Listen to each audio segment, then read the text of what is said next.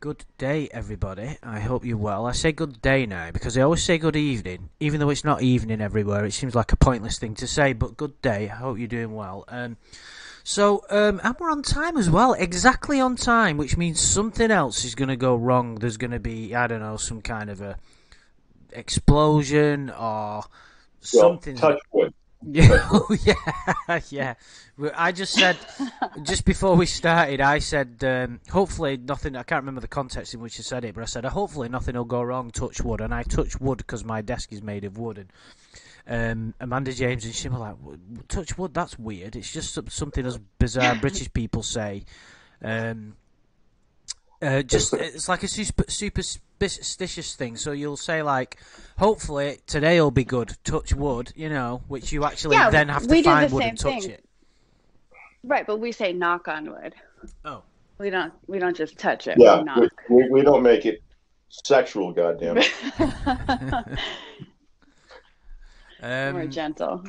so um, yeah, I did a bit of a philosophical video yesterday, which I like to do. I really do enjoy them, um, and I believe life is all about balance. So going from talking about the deeper aspects of Lorne's crazy mind and his his motivations and what makes him like he is. Sometimes you've just got to have fun, and there is nothing funnier than the lawsuits. Literally, I I even now I've got my head in my hand, and I'm like, I can't believe that someone wrote that. And Amanda James, you kind of, um, I don't think you were have read through it before. Uh, you the, the words that you wrote uh, read, um, you didn't uh, last week. You not have you not seen them before? No, I I'd seen. I knew he said that she lured him there with her female powers. And I knew he said that he unintentionally traveled. I I knew of those quotes, but I had never actually read it in full context before. So it was still kind of shocking to see that somebody would actually write those words and try to use that as a defense. Is it even though we kind of um, like you said we know what he said, but when you read it and you in the in the context that it is, it's remarkable, isn't it? And uh, like you know, Yeah. we're beating this, we're beating lawn ra- this Lorne scenario around the head for years, haven't we? And it's like you would think that we'd just get over it and move on with our lives, but yet I still find it interesting. It's weird, isn't it? It's still funny. It's, It's still, still funny. Uh-huh. it hasn't lost its comedic edge yet. I mean, it, there's just even when you go back and do the same material, you know. Um, I, I, I don't know. I, I, I don't see any end to this, but I know uh, it's weird, isn't it? Well, I you know go through what? I want to be just very quickly. I want to be buried when I die with a copy of the Holy Lornography. okay, you got it. I'll make sure. Please do. if one's still alive, he'll give you the eulogy. I want right a copy of an Oasis album in one hand, right, a Star Wars lightsaber attached to my belt, and a copy of the Holy Lornography in the other, and then I'll die happy. Your family will love that. His last wish. Have to honor it. Yeah. Um, what lightsaber? What color? Uh, Just so I gonna have know. to have to be blue. It's my favourite colour. Okay. That, oh, thank Right. you. See, you're thinking. I, I like that, Amanda James. You're actually like going Mm-hmm. that one step further and going, "What colour lightsaber?" Next bit, a bit right. Okay. Uh, how do you want a double-edged lightsaber? Let's not go there anyway.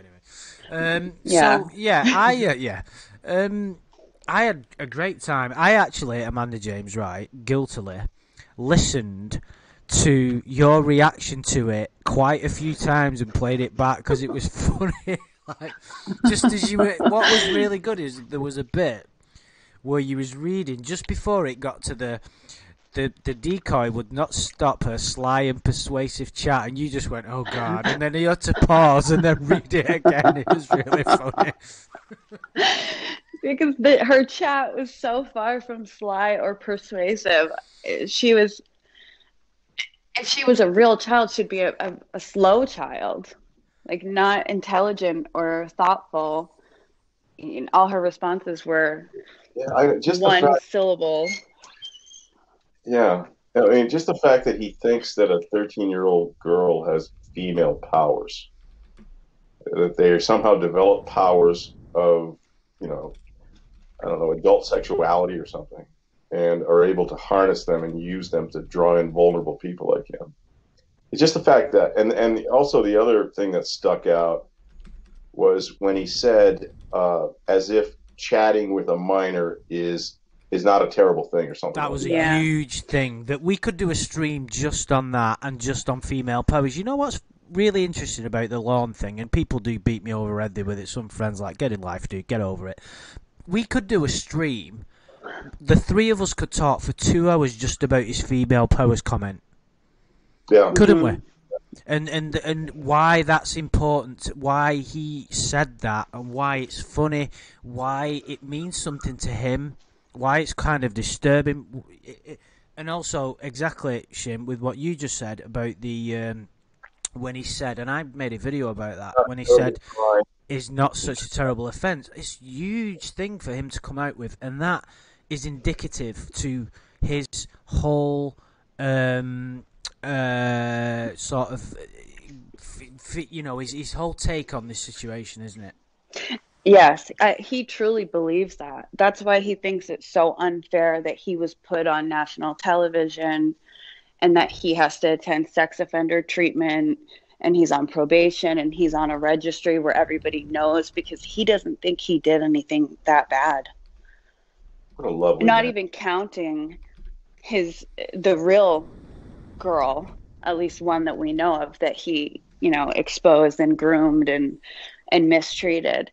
He doesn't he- think it was that bad of a thing because they were friends. Because Right. they, It's not a terrible thing. It's not a terrible crime. I think he says. But what he said was, uh, it's not a terrible crime to chat with a minor. And and the Mhm. thing is, you put a footnote at chat, and you know, and go back to the footnotes, and you read, chatting includes showing your dick, uh, did da da da, all this other stuff. So it's not just like talking.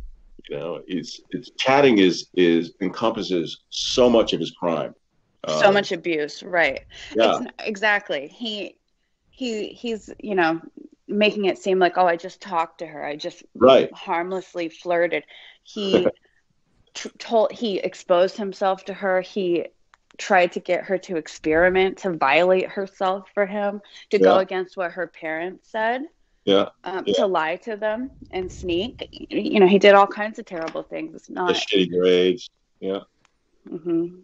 You know, uh, you know, build your life around a 37 year old, you know, man. It's really weird.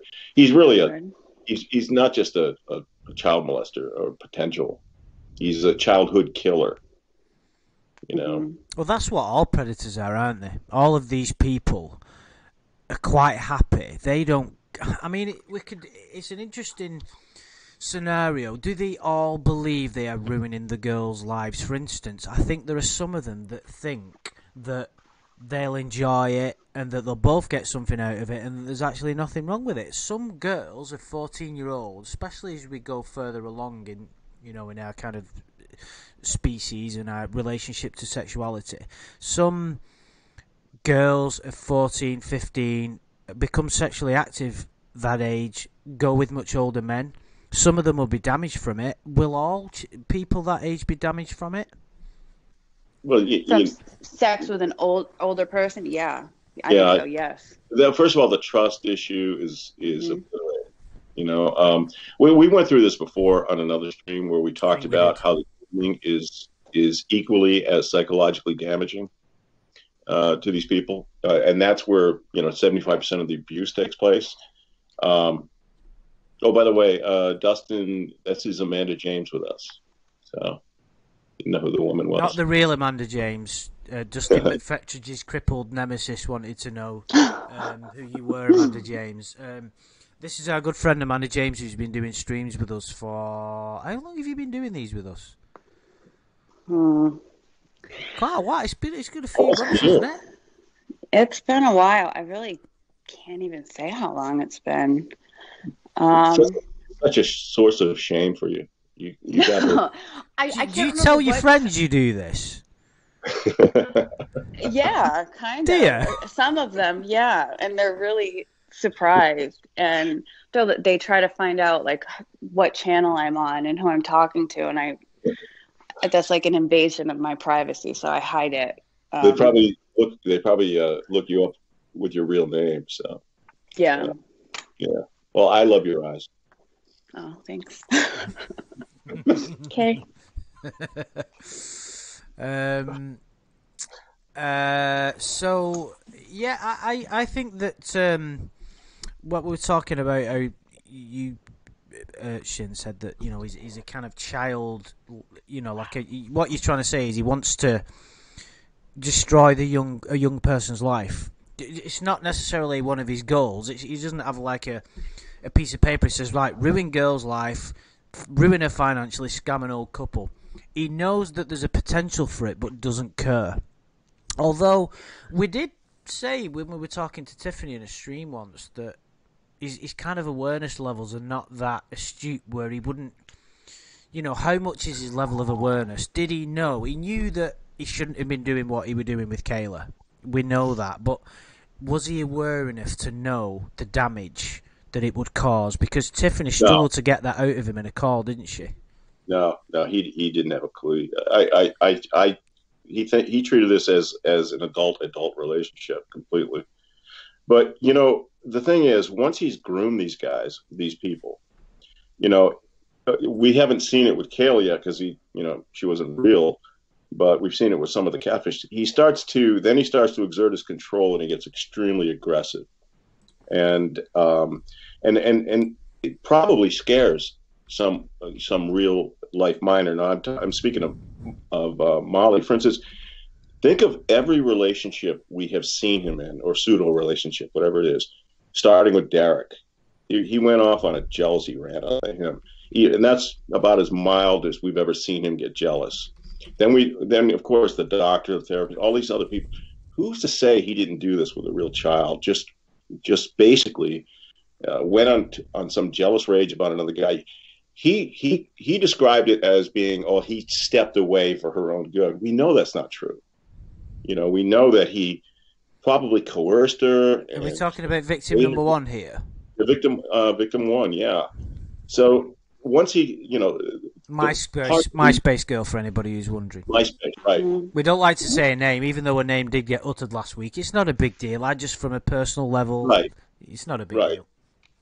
But that's part of his game we don't see here, you know, um, it, with the Kayla thing, and but we can only imagine what went, what was happening with uh, you know, with MySpace Girl, and probably was the next uh, was the um, uh, reason, the impetus.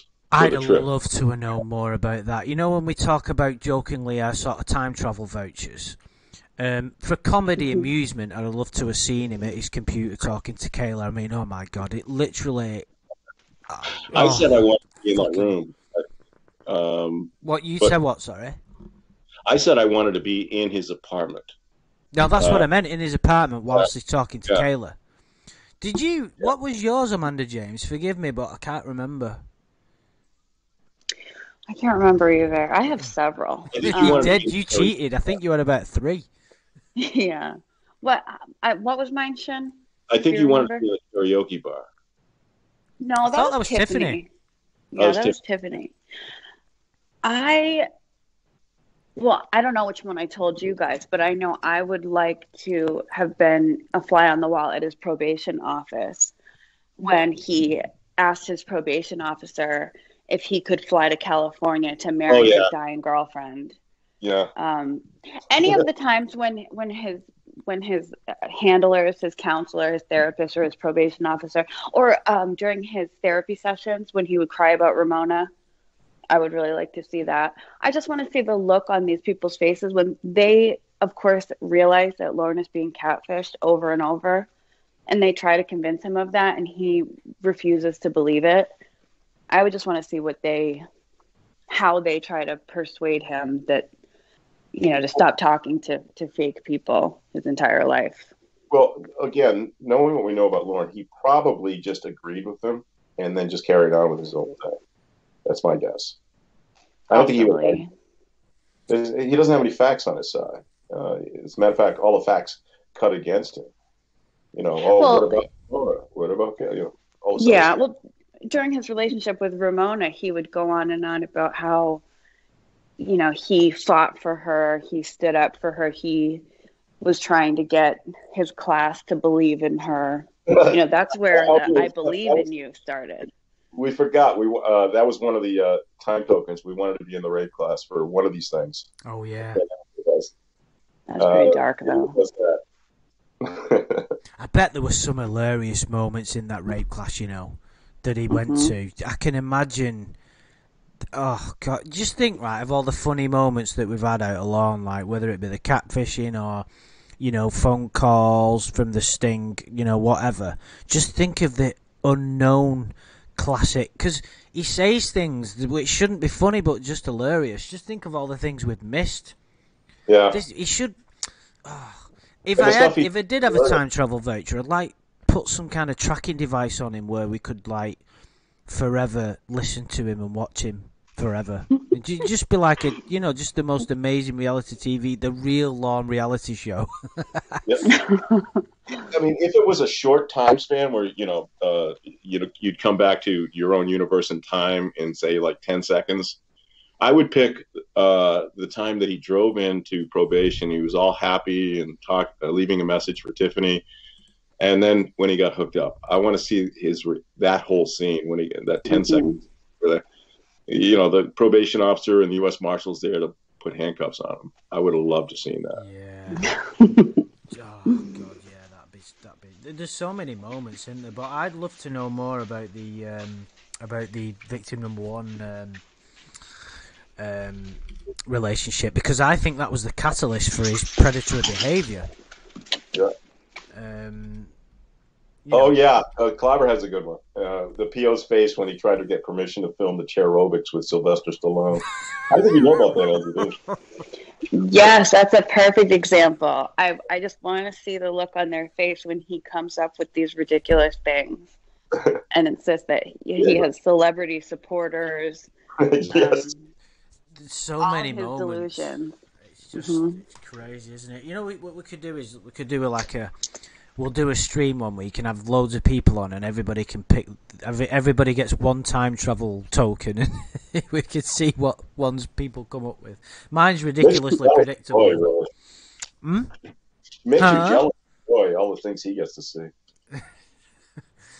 uh, um, anyway, um, without further ado, let's um, have a look at the um, it's it's. Can you guys see the screen? Yeah. It um, usually for me, but it'll come up. Andrew, can I say something about this real quick? Uh, very just a yeah. Crack on, dude. It's really hard to legally analyze, folks. Just so you know, I mean, it, to have somebody who has legal experience or whatnot, you know, they could when you have a, uh, they can try to wade their way through what he's trying to say and what he's trying to do and what his argument structures are. But it's really, really difficult. This is I think a better expert will be a kindergarten teacher. This is really, really hard to uh, uh, to analyze um, uh, as a lawyer. You know, this is. Uh, is it why though? Is it because he doesn't make any sense with his? He's all over the place, and you know, obviously you could tell what the boilerplate stuff is. And, no, but you can't make sense of something that doesn't make sense, dude. So that's not your fault that Lorne doesn't know what he's doing. Yeah, I mean, even procedurally, you know, I'm never quite sure what he's doing. But anyway, that's it. I'm sure he wasn't either. What's interesting when you were talking last week, Amanda James, you were going, I'd love to just get him here and ask him what he meant by that. He wouldn't be able to explain it. Like, if you said to him now, if you showed him this lawsuit and said, What the fuck did you mean by female powers, you fucking weirdo, he'd just deny he wrote it. He'd go, Oh, my head was messed up at the time. Or yeah. There'd be, there'd be no there's no logic. You can't make logic of something that's illogical. So he's not going to say, "Well, actually, right, I was under a lot of pressure at the time, and uh, and uh, you know, I was really feeling really deeply dismayed at the situation, and I felt um, a certain level of betrayal." So female power, he's not going to come up with something like that, is he? He's just going to ramble. But it's still interesting that, that that came out of his brain because there's a certain honesty to his writing, and please understand the context of what I mean when I say honesty. He believes what he's writing. I don't think there's deliberate deceit in it because Why would he write? He said no many times. All one would have to do is go to the fucking chat log and just type the word no and see that it never happens. hmm I, I believe he, he felt this way all the way up till Tiffany, uh, T- Tiffany's, let's call it interview with him, where she went through, where did you say no? And then he finally broke down and she goes, well, what are you trying to do then? She, and he says, I guess, I guess I don't know. I think it, it- that was probably the time that he finally got off the I, I kept saying no wagon. Um, Yeah, I think he talked himself into believing that he actually did say no. He actually didn't want to go there. Uh, But what what I would ask him is what the hell the phrase unintentionally traveled means. That would be the ultimate question, wouldn't it? You know, because It's confusing. well, it doesn't. It, it, which we said last week, the only thing that we could think of was like under, you know, at gunpoint or demonic possession. or, or, or you're in your car and you're sleeping, you accidentally you put it in gear, you know? Yeah, there are explanations, but they're very Yeah. outlandish. They they don't involve a deliberate several-hour drive and specific, complicated procedures that allow you to get to a specific location at a specific time and say specific things to meet a specific person. That can't Right. be. And he, Speaking of specific, what is this idea about turning around on a medium on a super highway or whatever it was? Who does that? Who thinks about that? Just take the next exit and turn around, right? I mean, he said there was no other exit. The next, but the idea that he would, well, how would that work? He would just fly across and merge in, and you know, it just it it's weird that that's how he pictured his out. You know, uh, was he so overcome with with uh, I don't know shame? I don't think he has that, but but So- why the media? You know that right. that's It makes no sense. He could have turned around anywhere. He could have turned around in Kayla's driveway. like a normal person. Went home. Yeah. It, there's never like, a, oh, it's too late. I'm.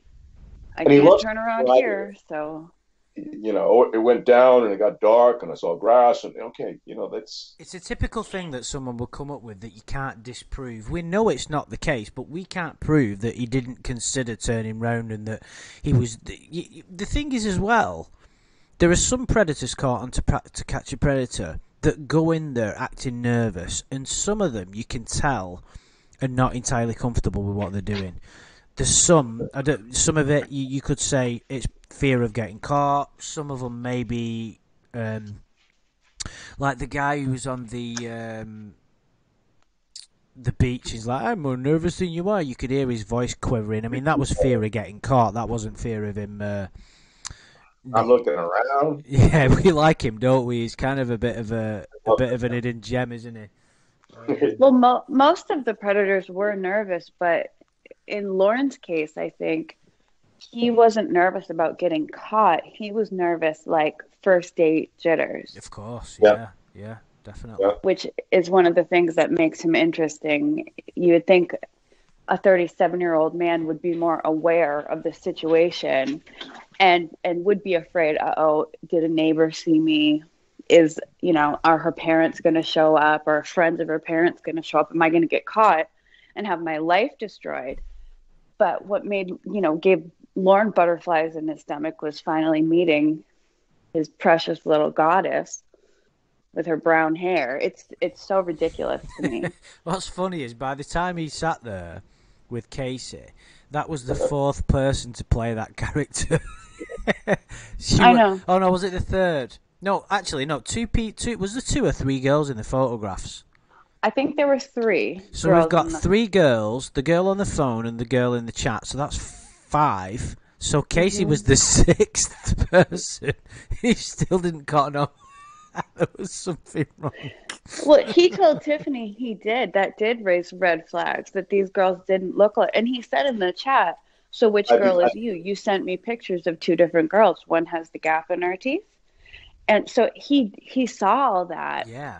but is still stupid enough to just go with it. And that Well- didn't even raise his suspicion. So let's just think that you noticed that like he did, right? he didn't get a Mhm. satisfactory response from the decoy because they can't. You know what are you going to say? You just have to say, "Oh, sorry, Lorne, you've had too much to drink." So they probably thought they were doomed at that point, and but yet you would think that that would be in the back of his mind. Yeah, I mean, I, I, I don't believe that he figured out they were different girls. I think Tiffany was right when uh, when she got him to admit that she knew she was growing and her appearance would change in some of the photographs. I think that was more like it. I he wills himself to believe something so hard that he, you know, Mhm. you're not going to a gap in the tooth or you know, it's more than a gap in the tooth. We all know that these those girls are so different. Uh, Right. Look, the only similarity they have is they have blonde hair. That's it. But It's we've seen it happen over and over again since Kayla. He received many different pictures of these women that he was in f- telephone relationships with. Right. And he would pick, he would say, So which one is you? That Yeah. girl looks different. I want Yeah. to see the dimples, you know? He, And he he, could just believe. he could be talked out of it every time. He he would still stick around no matter what. Hmm. Which I, I mean that shows his desperation. I think you've just hit And the as far as the. It's Casey- simply desperation, isn't it? As as far as Casey's concerned, he just liked what he saw. That's what I think. Yeah, He's willing to accept any delusion. I You know, at that that point. it is desperation and a strong case of it, and I think that it happens for many men and many women. If like you know when you see the little, when you see like older women, and sometimes men get scammed in these dating uh, on these dating sites because.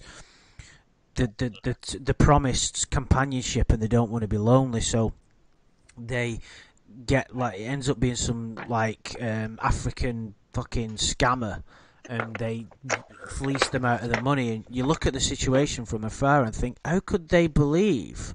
How could this like pensioner think that some attractive middle-aged man who's rich would be interested? Because the desperation takes over because we're so we're genetically engineered to to the opposite energy polarity or maybe the same you know same sex whatever it doesn't matter. But you know to, for that companionship. And with him there's that as well which makes him completely just oblivious to everything that's going around him and he happens to be thick as fuck as well so um, You're it's right. a double whammy It has to be a predisposition they have in order to fall, uh, fall for it. They got to be either replaced their life or they're a little more vulnerable. Like yeah vulnerable yeah which which he he obviously picks up on in abundance he, he kind of is vulnerable but not in the way that he thinks he is Yeah. But And look at all. The, Sorry. Oh, go ahead, Shin. Go ahead. No, I was going to say there's there there are good catfishes and bad catfishes. He falls for them all. You don't even need big Mhm. It all, almost all of the predators. I'm always shocked that they believe that a 13 year old girl or boy is interested in them. Look at um Hamburger. Hamburger. Yes. She was um, on that- attractive as well. That that decoy. I mean, most of the decoys Oh, you are know, attractive, but she was the She blonde one this- who was very quiet, but she was an attractive girl. Yes, a pretty, a, a, a cute, pretty little blonde child. Oh, sorry. who would have a hard time finding a mate. Yeah, that's going to happen. So look for Hamburger. Hamburger was really funny to me because he he was uh he was into the romantic aspect too. He wanted to probably because he you know he's impotent or whatnot, but he wanted to spend time on the beach with her. Can you imagine if you were on the beach and you saw I two just think that was the grandfather, wouldn't you? girl just you on would the think he would be so self-conscious. You, there, it's a, a pretty little teenage girl with this zombie corpse grandfather man on the beach. You, you would think that he would just be absolutely repulsed by himself. yeah, you, well, I think everybody's initial impression would be, "Oh, look at that uh, granddaughter and grand. Look at her help their grand. What's he doing? What's he Yeah. doing? You know." But just the idea that they think that's re- uh, that that's a a um, a rational reality. hmm But that that's the underlying theme for all these predators. You know, how can you know somebody like you, um, you know, uh, Dustin? he, you know, I think that somebody like this is interested in you. Um, well, for Lorne, he we know that he at least appears to have a very high opinion of himself. I think they all do.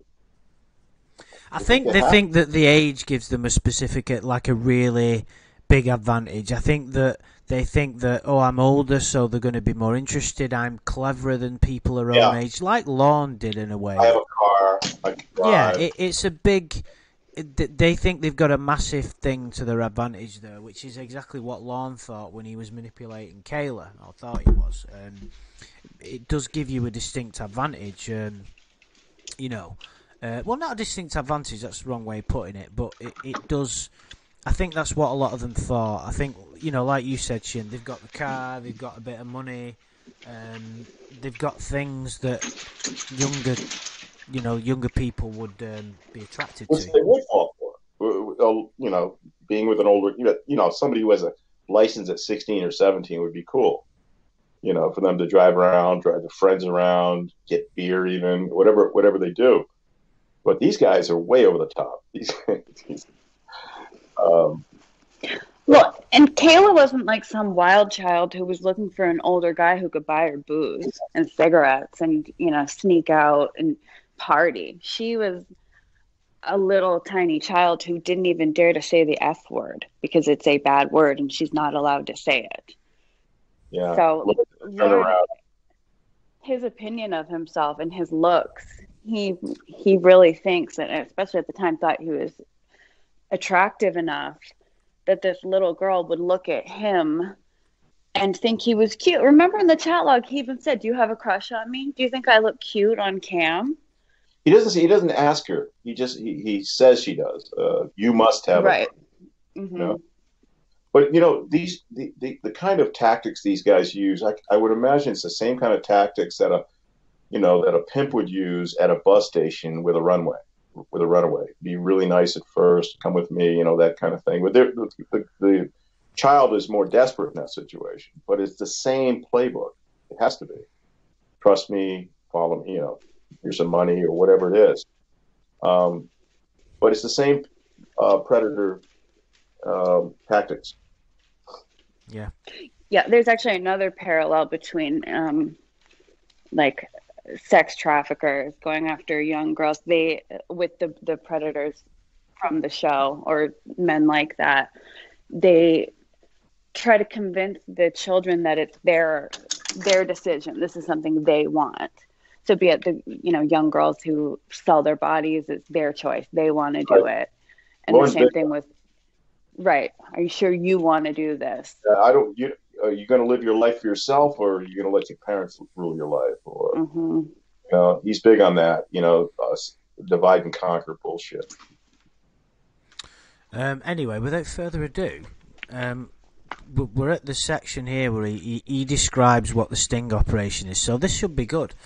So, mm-hmm. titled The Sting Operation. In 2004, Dateline began producing and broadcasting a series, series of segments entitled To Catch a Predator. ID page 14. Uh, I don't know what that is.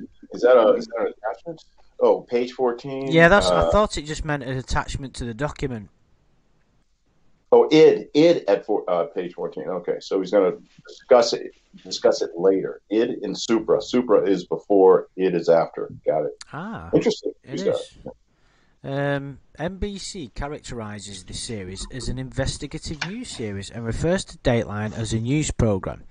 Working with perverted justice and local police departments, Dateline use, is, uses decoys posing as teenagers online to lure, with the promise of sex, individuals suspected of being sexual predators for stingers. That's quite a good, um, accurate description of. Um, it's very, very succinct, I would say. You having it? Um, uh, it's accurate. Yeah. There, the decoy, who is an adult actor posing as a young teenager, supposedly at home alone. Oh, damn it, they weren't home alone. Invites the individual into the house. DVD. Um, is that because they sent him a DVD uh, in his discovery yeah. package? Well, yeah, he's yeah he's he's referring to that. Yeah. Yeah. But he should, he should but it's identified by as an exhibit uh, or it, more than just DVD. That could be anything. Yeah, exactly. It could be like a copy of Chicks with Dicks or something, you know. Um, after a few moments, the decoy leaves, and the host of the show, NBC correspondent Chis, oh, he actually calls him by the right name here, calls him Chis Hansen in another document. Chris Hansen appears. Hansen confronts the individual and starts asking questions such as, Why are you here? Such as why are you here? Yeah, that's a pretty fucking good question. It it's, is. It's a great yeah, question. it is a great question. In some instances, the individual immediately tries to run out of the house. Surprisingly, however, hang, hang on a minute. As Lorne wrote this, I don't think that because it, it's not a kind of twisted version. This is the everything that's being written here is kind of the truth. It's written quite well. It's it's pretty articulate. Surprisingly, however, in many inst- instances, the individual answers Hansen's questions like Lorne did, and allows himself to be interviewed by Hansen, who is armed, armed with a transcript. It's like it's a weapon. Even the way he's reciting the facts, it doesn't look different. No, it doesn't at all. That's why I'm surprised. It's like when we were reading the earlier paragraphs, it was all twisted, you know, slime, persuasive chat, cunning female decoy. That was I fucking love that cunning Mm-hmm. female decoy. Um, it is apparent that the host of these individ what? Oh, sorry. It is apparent that most of these individuals believe that Hansen, who does not identify himself at first, is a police officer or the father of the decoy. Okay. Um, at some point, Hansen will announce, "I'm Chris Hansen with Dateline." Okay. What's the point of this? He's just saying. I don't know. It, it doesn't look good. But it's funny how he gets in the mind of every other predator too. Like everyone thought he was either the father or a cop. You know, some people realized who he was.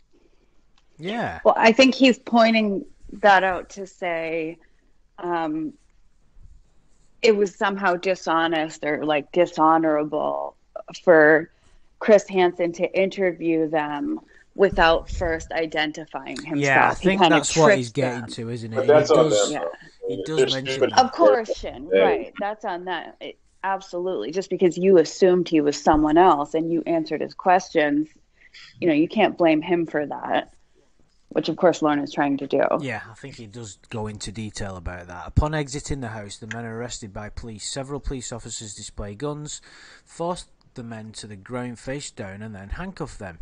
The men are taken to the police station where they are processed, photographed and interviewed by a police officer, and they eventually arra- arra- arraigned, Arraigned. Yeah. arraigned in court. Um, guilty. guilty. but I, I mean, like I said, it's an accurate description of what's gone on. Apart from the um, kind of This armed with the transcript, which was quite comical. Um, all these events, the arrival at the Sting House, the initial entry of the house, the first meeting with the decoy, the conversation, and blah blah blah blah blah, are captured on camera with video and sound equipment, including hidden cameras provided by NBC. It is apparent that NBC commits substantial resources to the show. Yeah, okay. So what? Yeah, well, I, that's what I mean. I mean, I don't know whether he's building up to something. In the tw- in, in the February twentieth episode, for example, a large house was used. The police were staked out in a U-Haul truck parked on the adjacent property. There were shots taken from numerous angles, both inside and outside the house. There is equipment to allow nighttime filming. There is equipment to monitor and record online chats and telephone conversations. In one shot, Hansen is, stand- is standing in front of perhaps eight television monitors and there are many individuals involved, including perverted justice personnel, actors, police officers, NBC cast and crew. Well, no, there isn't any NBC cast. Where It's were, just. they, It's, where were they February twentieth? Where, where, where was that I don't. I don't know whether there's someone in the chat It can 2007. check that out.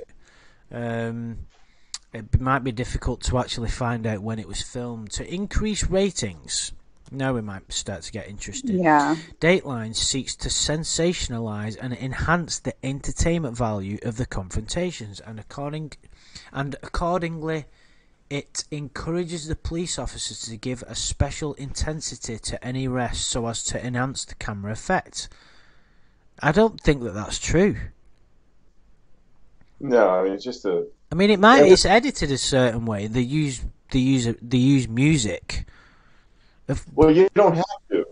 These guys provide the uh, the whole entertainment. You don't have to. There's nothing you need to sensationalize. It's already sensational. Indeed, the mainstay of the show is public humiliation of the individuals who are lured to the sting host by the promise of sex with a minor. Yeah, I mean it is kind of. But I, I think I think that's really telling too. That that's Lorne's main takeaway.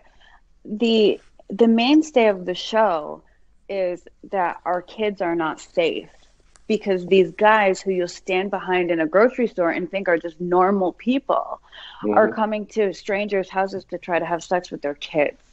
That right. that was the mainstay of the show. Public humiliation goes along with it's a consequence, of, isn't it? Exactly. But I would agree with one from a perspective, what he's saying, I believe, is true. In that the one thing that stands out in To Catch a Predator is watching these guys get humiliated. We get a perverse pleasure from it, mm-hmm. but we we don't feel bad because of what they try to do. It's it's that's why it's a unique show and a unique situation, and and the humiliation is justified at the end of the day. It's it's it's a pointless argue what he's getting at here. He's saying that you. I mean, let's carry on before I start making assumptions because I don't remember. Um, well, can I say something real quick? Uh, what's interesting is as he recounts these facts, which are objective, it, it, doesn't really have one argument or the other on each side. It's just this is what happened. What's interesting is he doesn't insert anything about. Uh, Dogmaster brought it up. Uh, whereas about the chat log being doctored, maybe the film being edited to make him look worse, uh, uh that uh, he said no uh, you know, all these things he's saying now is not in this civil, is not in this criminal appeal. You know, there's no mac and cheese in here. Can you imagine? Yeah. If there's a whole paragraph on uh, um, petitioner went to his sibling's house to conduct uh, several hundred pounds worth of work at the promise of meatballs. He was denied these meatballs. you know, it was so funny. Um, and uh, it, we, Clobbering Times mentioned it, and we did touch upon it in the last bit. It says, "By the promise of sex." It's almost it's written in a way where it's like it's he's almost as an admission. It's he's yeah. almost criticizing them for promising them for promising him sex which he didn't get. yeah, not carrying through. You promise. well, what he said is, I'm one of those guys who, who was promised sex by a minor good pickup, Clever. I mean, that that's exactly what he's saying. That that's not. As I said, the, even these these facts, as they're recited objectively, they make them look terrible. Mm-hmm. Especially for a guy who says that he would never have done it. He was he was never going to engage in sex with a thirteen year old. Yeah. And he admits here that he went there. He was lured there with the promise of sex.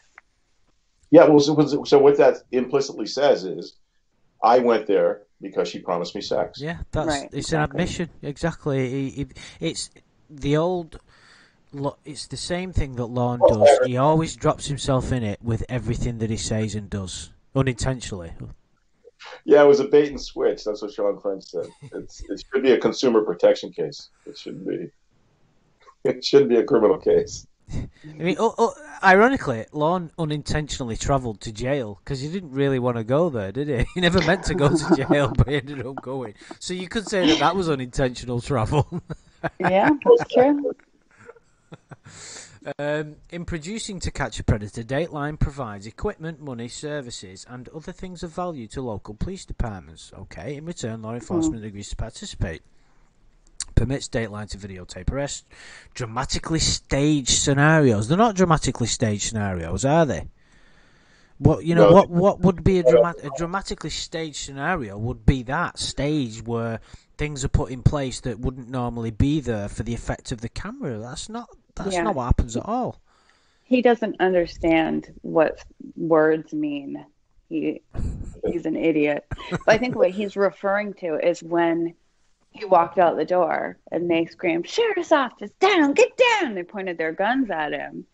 He he brought up to somebody he was talking to, I can't remember which woman, but he was screaming and crying about how in some of the stings the predators would just walk out the back door and the police were just standing there and they'd say, you know, put your hands up, put your hands behind your back.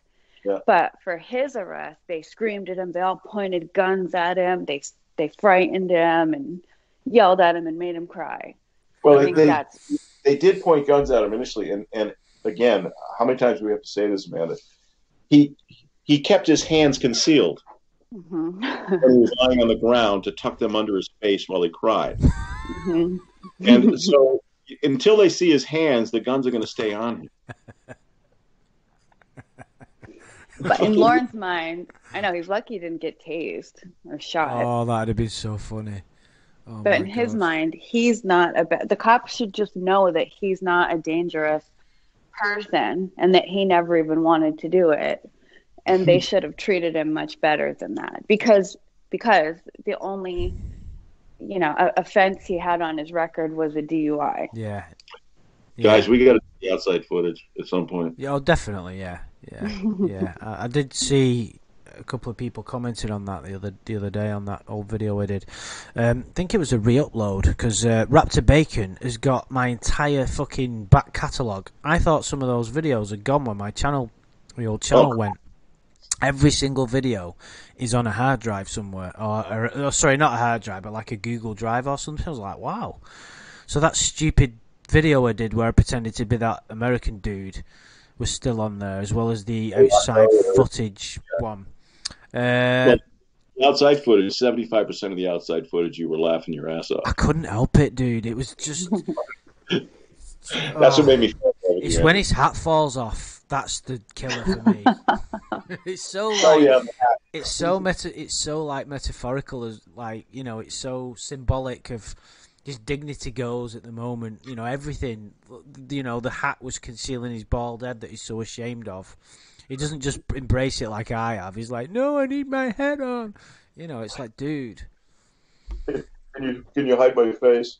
I even did. I think I did one of my first ever videos that I did. Right when I started doing these was about his hat and how him having his hat in place all the time it highlights his personality perfectly because he's like afraid to face up to the truth. And but once you take that plunge and you just accept it, things become a lot easier.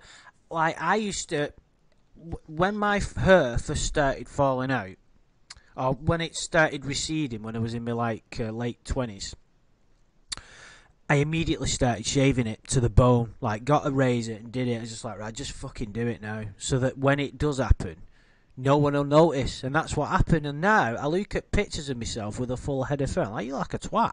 Actually, you look, I look better than I actually look better now, but you can't do that. And still to this day. He's always got to have his hat on. He's, like, you'd think after all this time he'd get used to it, wouldn't you? Yeah, you know the the interrogation video uh, where he was uh, with uh, Gillingham uh, when he asked if he had uh, Gillingham asked if he had his ID with him, and Lorne said it's in my wallet. You guys have it. And then the uh, Gillingham's partner walked over to the ev- evidence table. Uh, I cracked up so hard. I do every time uh, the guy picks up and there's his hat in that uh, cellophane evidence bag. I didn't see that. oh yeah, yeah. Check it out. It's Oh, funny. will do. so funny. Um, that's brilliant. In return, law enforcement agrees to participate in the show, permits Dateline to video to. Oh, right, we've, I've done that. Um, Dateline has produced Predator segments in. You both still there, guys? Yeah, that was Yeah. me. Sorry. Oh, it's all right. Uh, Dateline has produced Predator segments in, among other places, Riverside County, California. Yeah, okay, right. And in the fall of 2006, all right, here was going to mention the uh, district attorney. Why does Uh, he give us production history history here? I don't know, dude. I, I don't know. It's like, is he just bored? Has he just got, he's just rabbiting going on and on? Dateline decided to do a segment of Catch a Predator in Murphy. Um, over the course of five days, 24 men were arrested to go to the Murphy house. Um, police officers come to the Sting house. Eventually, all of the charges were dropped as the local district attorney found that none of the cases could be prosecuted. Conradt versus NBC Inc. Contrary to the Murphy operation, petitioner Armstrong visited a Sting house in Kentucky where he was apprehended, prosecuted, and sanctioned with prison time. Seven years in a state prison and five in a federal. Considering the local district attorney in Murphy dropped their charges on the men who visited a Sting house in Murphy, Murphy petitioner Armstrong has had to suffer and. What's that say? Egregious miscarriage of justice. You know, in a way, he has an argument here. I mean, Yeah. Well, each state is different, but for instance, if you you know you look at all these uh, Riverside guys, they got the Long Beach special. Basically, nobody saw jail time. It must burn his ass to know that. You know, um, but then again, he should check out what they did in Georgia. You know, I think Georgia and Kentucky were the toughest ones. I think Florida was was behind that. But the California things were really just a slap on the wrist for these. They got put on RSO and all this other stuff, but they didn't do. They didn't. But then again, he had federal charges in addition to state charges. So uh, you know, he, I can imagine how that. Uh, yeah, I, I'm, I never thought I'd hear myself say this, but I understand what Lorne's getting at here. If that was me, I'd be pretty pissed off. It's like other people got away with it for exactly the same thing, and I got five years. You'd be pretty. That would fuel your rage. So that that will just piss. If you're someone who can't take responsibility for your actions, that will make things ten times worse because you'll just go, well, they got away with it. I want to get away with it too, you know. Mhm. And that's Lorne's personality to a T. Exactly. So well, they do it. Why can't I? yeah, but does he have any? What he's saying here is that the Fifth Amendment, no person should be deprived of his life or liberty without due process of law. Now he was deprived of that, but with what he's saying is because Well, other people got away with it, it's without due process of law. That doesn't make sense to me. process. He got he got to read his rights at his interrogation. Uh, he got incarcerated. He got bail. He uh, he couldn't make it. He stayed in jail. Uh, the evidence was overwhelming, and he pled out. And then during the colloquy, the judge made sure he understood all his constitutional rights, and that he was waiving that. And uh, so I'm not exactly sure where due process was No, it given. doesn't. It doesn't make sense with regard to what he's just kind of gone off on a limb there, hasn't he? And go, oh yeah, they He's- violated my Fifth Amendment. No, they haven't. Yes, he's just an idiot and he doesn't understand what words mean. Yeah, He gives them his own meaning. And he it's sees quite convenient. Yeah, well he said he sees that he was deprived of his his life, liberty and property by being locked up. And the the rest of it kind of just just ignore that part. That his rights were violated. He also said I mean it's going on further, but I know he says something about like his privacy was was invaded because they filmed him while committing a crime. Oh, Just good. stuff that makes no sense. The other Fifth Amendment issue would be self incrimination. That's the other one. Uh, he was more than glad to talk to these guys. I mean, he was read his rights, he uh, signed off on his rights, and then he signed off on a waiver to talk. So that's the only really part where the Fifth Amendment comes in here. And and in terms of due process, uh, it would apply in the federal case, but due process for state cases is the Fourteenth Amendment. So This is interesting here. The Western District of Kentucky state attorneys and their assistants who orchestrated the above sting must be held accountable. Accountable for what? These government attorneys allowed NBC to broadcast Petitioner Armstrong's apprehension and arrest. I, I don't. What? What? What? What is the point? He's just stated that other people got off with it in another state, so therefore he's now saying because of that that the the Yeah. the Yeah. uh, it doesn't make any sense that he's app- allowed NBC to broadcast Petitioner Armstrong's apprehension and arrest. Well, of course. Well, he explains in the next line why that. would you pref- would you like to read on Amanda? Sure. Um, this exposure violated petitioner's right to fair and impartial judgment as he was exposed to the public before he was indicted and he had begun his court proceedings. Interesting. Well, yeah. I mean, that is always an issue, you know, in terms of uh, uh, pretrial publicity and whether a jury is going to be biased or not. Um, Was it? Sorry to interrupt, dude. Just to clarify, it was broadcast before his trial, wasn't it, or was it? it was broadcast in February, but he pled out, I think, in May. Because he So- watched. It was in jail. It was broadcast when he was in jail. So Correct. was it broadcast before he pled? W- w- was it broadcast before? Yes. Right. It was it, again the timeline, as far as I remember it. It was broadcast in February or March of 2008, and he pled out I think in, in May and June. So you know. So but, does he have a point? No, no. I mean, he he, he created a newsworthy event. You know, of, of course. I mean, people aren't going to hide arrests. I mean, uh, that's part of what the police need to do is to you know be transparent about things and show things, and especially in this a case like this where you have an alleged child predator, they want it. They want his face out there. You know, it could be other people that you know, other victims that come forward or, or, or whatever.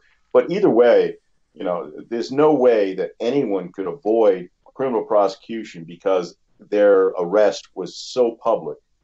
You know, the, the worst that could happen is they change venues. Right. But that's it. Nobody avoids criminal prosecution. But yeah, we talked about that before. It's like with with any really high profile case, um, the yeah. media is going to cover it. I, you know, look at like Casey Anthony and stuff. Every news outlet was was talking about that. Lorne acts like everybody in the world saw To Catch a Predator. Yeah, and, and it would have been impossible to find a, a, you know an impartial jury, which is well, not true. Situations, the attorneys get a little more latitude and voir dire, you know, when they speak to each individual uh, jurors. Are you able to render a, a, fair and impartial verdict, notwithstanding the fact that you know about this case, you know, and they take it even further. They look into their backgrounds. They have these questionnaires and everything else. And sometimes you could have 200 people show up in the courthouse to uh, as jurors, and you end up running through all of them and only impaneling three, and then you have to get another group in. They'll find people. So, but he never had a jury, so I don't know what the fuck he's talking about. It's a good point. It's a very good point. He didn't have a jury and he pled guilty. Um, I'm trying to like, right. I'm trying to be impartial because I'm trying. There's no point just. I mean, we can have a laugh at this when something's funny. We can have a laugh, but I want to take it. I want to at least try and figure out what was going on in his mind. So I don't want to dismiss everything he's saying completely out of hand and trying to because there is a motivation behind him writing these words. You know, it's it's not just a monkey arm with a typewriter, although you could make that comparison. Um, so he, like I said, I understand what he's trying to say, but like you, very, I think I like the way what what you said, Shin, and I've not really heard it like that before. He created a newsworthy story when O.J. Simpson allegedly right. murdered his wife. It was on the fucking news. You, you know, what was is, mm. did he did, did his legal team make that claim that they that the well, yeah, news? They they tried to get it out of Brentwood County, which is, I guess, uh, much more conservative, uh, whiter, and eventually they moved to L.A. County.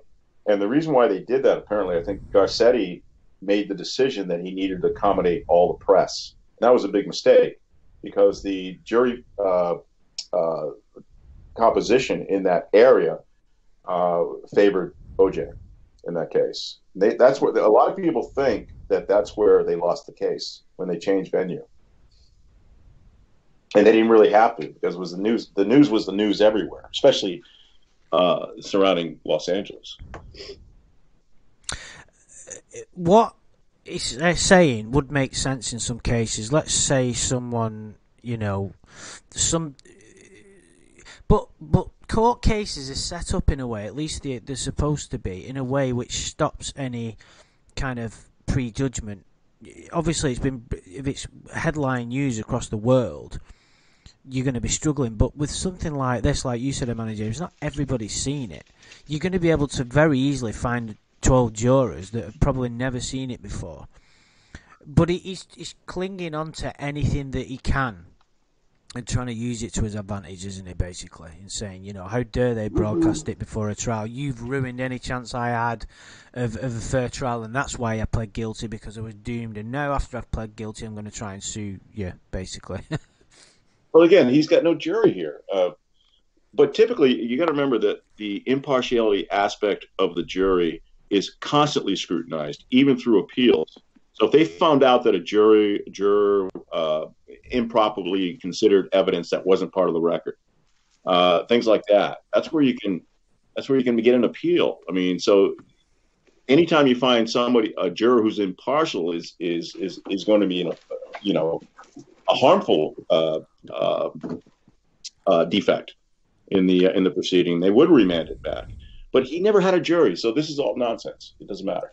Yeah, but, like I said though, Shin, he could argue that he pled guilty because I mean he doesn't, but he could argue he pled guilty because he knew he didn't have a chance. Which you could, you know, if, in in a certain scenario, you could imagine that happening, you know, through some case somewhere, couldn't you? Yeah, but again, he didn't have a chance because of the way the evidence stacked up against him, and that's what his lawyer probably convinced him. And of course, they they really jammed him up with the child porn, attempted child porn charge too. Um, I mean, this is just normal stuff. This He is not- expands on it a little bit here. While the news media are entitled to receive, investigate, report on all public proceedings involved in a trial, the right to gather, uh, the right to gather news, much like other First Amendment rights, is not absolute. It does not guarantee journalists access to source of information not available to the public generally, such as Persisters Armstrong's apprehension and arrest. So he's saying they shouldn't be allowed to use what? The footage, but I don't understand. I don't understand what he's getting at here. Well, it's nothing. It means nothing. Of course, there's no absolute right for a journalist to get a camera. Look at federal court; you can't bring a camera in there.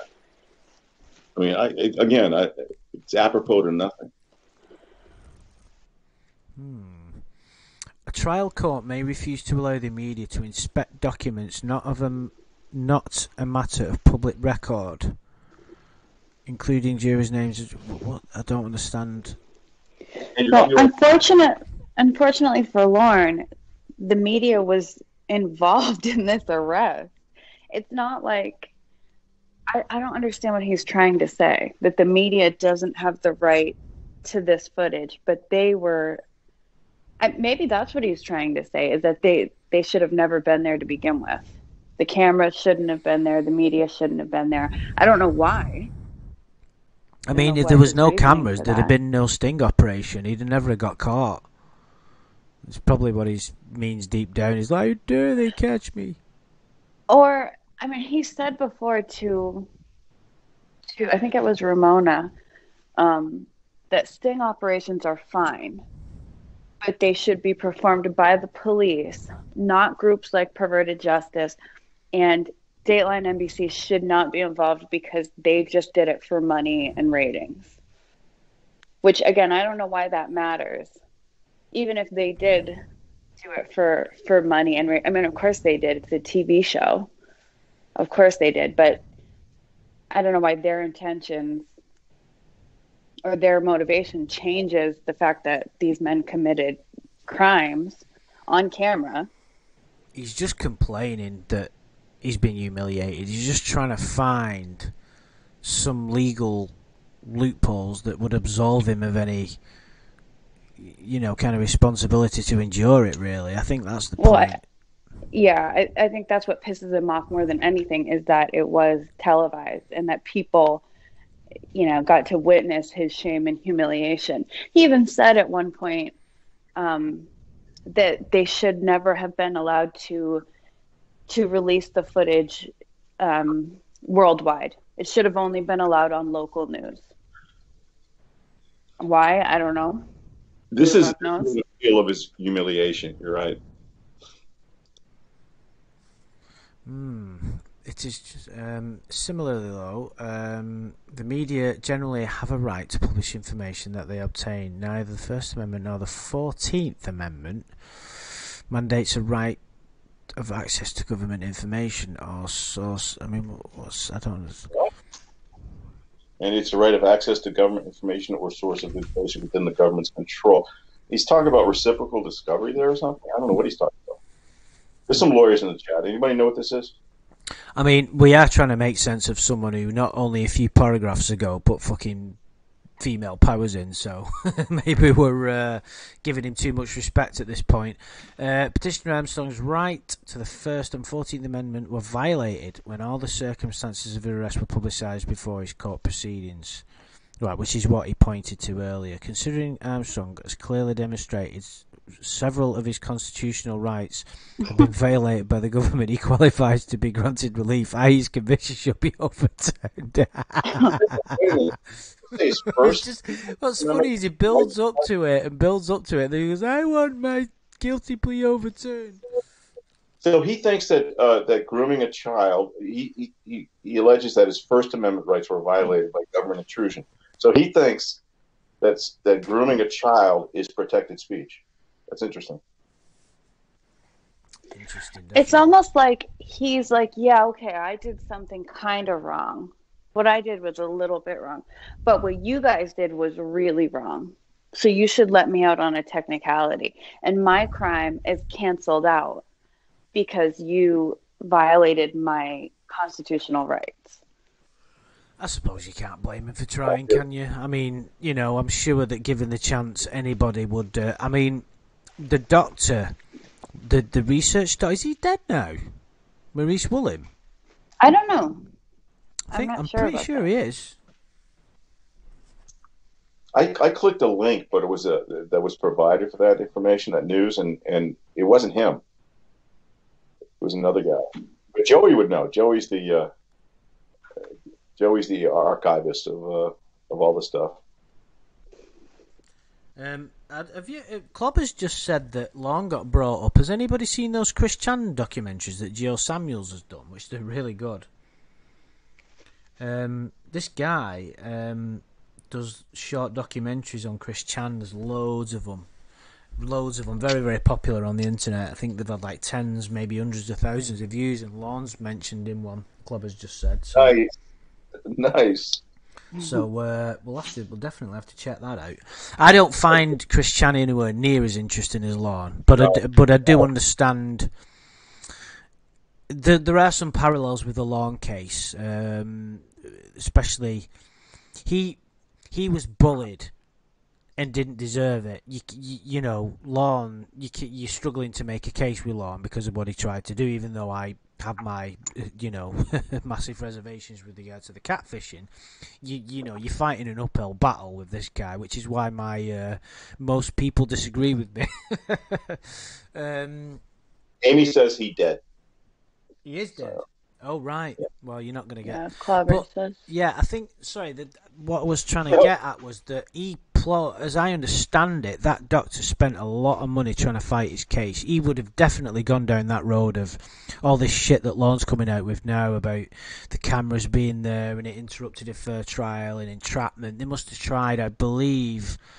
I read somewhere that he tried everything, like he threw everything at it. I mean, Lorne actually had a, a better opportunity for a defense than than Wolin did.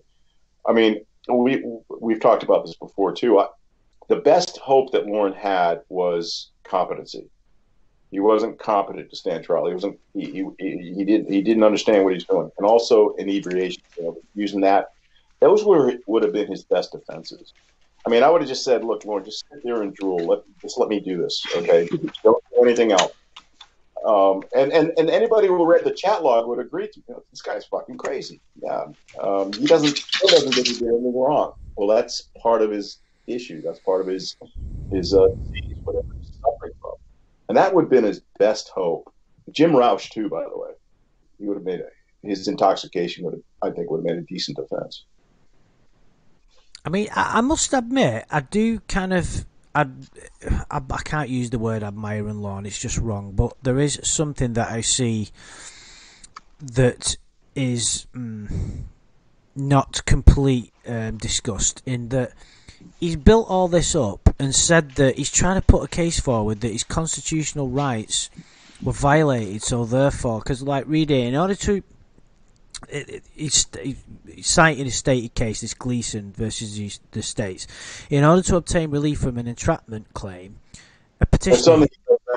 you know, he doesn't lead up to it. He just Well, I don't know. He's he's kind of no. He doesn't lead up to that case, but he's he's led up to this point here about his constitutional rights being violated, and then he states this case where it says an existence of error of constitutional magnitude that has a substantial and injurious effect on or influence on the plea. So he's saying what I said earlier that he pled guilty because he had no choice, but his constitutional rights were violated. But of course, we know that they weren't. And he, even he does really, ironically. um, oh, here we are. Uh, do you want to, one of you guys? You want to read this? Go, Amanda, please. Oh, okay. um, whether circumstances surrounding petitioner's plea agreement were sufficient to create a miscarriage of justice. Circumstances surrounding petitioner's guilty plea were so egregious that his plea was involuntary, unknowing, and unintelligent. If you got that right. Scenarios that created such a guilty plea include, but not limited to, pretrial publicity, not receiving all the government's exculpatory evidence, his Miranda rights, his oh, he's just pulling everything out now. His state of mind when he decided to visit this. Oh my God! His state of mind when he decided to visit the You're Sting not House. surprised, are you? I, I'm always surprised. I shouldn't be, but it, his stupidity always surprises me, or just his nerve. Most people wouldn't say this, right? The audacity, you know. Um, let's see, his state of mind, his psyche when NBC aired To Catch a Predator, now with him as the predator, etc. Uh, this set of circum Okay. this set of circumstances violated petitioner's constitutional rights, which in turn created a miscarriage of justice. Then pretrial publicity. Before pe- petitioner pled guilty, NBC aired To Catch a Predator show in which he was the predator. With such Yeah, you said publicity, with such publicity, uh, petitioner never would have received a fair trial. Jurors would have him guilty before the trial trial commenced.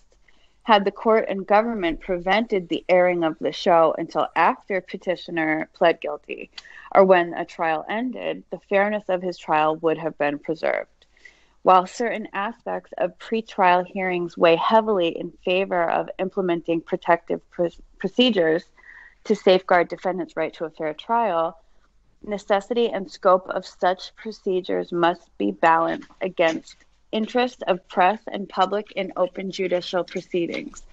Court must find that there is likelihood that pretrial publicity will jeopardize defendants' fair trial and that there are no alternative means reasonably available by which fairness of trial might be reserved without interfering with public's interest in open proceedings before proceedings may be closed. That was a mouthful. hmm So he's just babbling on about how they shouldn't have aired the show until after his trial. Yeah, he's going on. There's no point reading this verbatim. Uh, extensive pretrial publicity, blah blah blah blah. He's just using stated cases here. Um, um, government's evidence. Under the Fifth Amendment, U.S. Supreme Court rulings and rules um, provide blah blah blah blah. blah. Okay, Petitioner Armstrong. Oh, but he acknowledges. What do you think he acknowledges? Because I haven't read the rest of it. What's that? Um, Petitioner Armstrong acknowledges that he received his online chat conversation with the decoy and the DVDs of, DVDs of his arrest at the Stingers and his conversation with Answer Rat. Okay. However, Petitioner did not receive exculpatory. What does that word mean? It's evidence that makes you that makes him innocent. so he's, Well, no, no, he's complaining no, that he didn't send him stuff which gets him off the hook. To hand over exculpatory evidence, no matter what, that's mandatory. But so there is- he's saying sorry it, it- he's saying they they hid the parts in the chat log where he said no basically they, Uh, they didn't hand over that that evidence say that. I mean, he's he's basically saying there's there's evidence that that will uh, that would acquit him uh, in the hands of the the government that they didn't hand over to his defense attorney. That's what he's saying. He's saying the the search of his truck and him being harassed, um, and Uh, whether Hansen had police authority to Whoa, whoa, whoa. interrogate. NBC crew present and harassing petition. Did they harass him?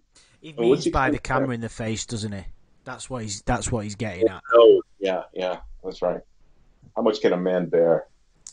Um, whether Hansen had police authority to interrogate petitioner, that makes no sense because we all know that it, it, it, you don't need police authority to have a conversation with anybody. This is what Lorne doesn't grasp or doesn't want to.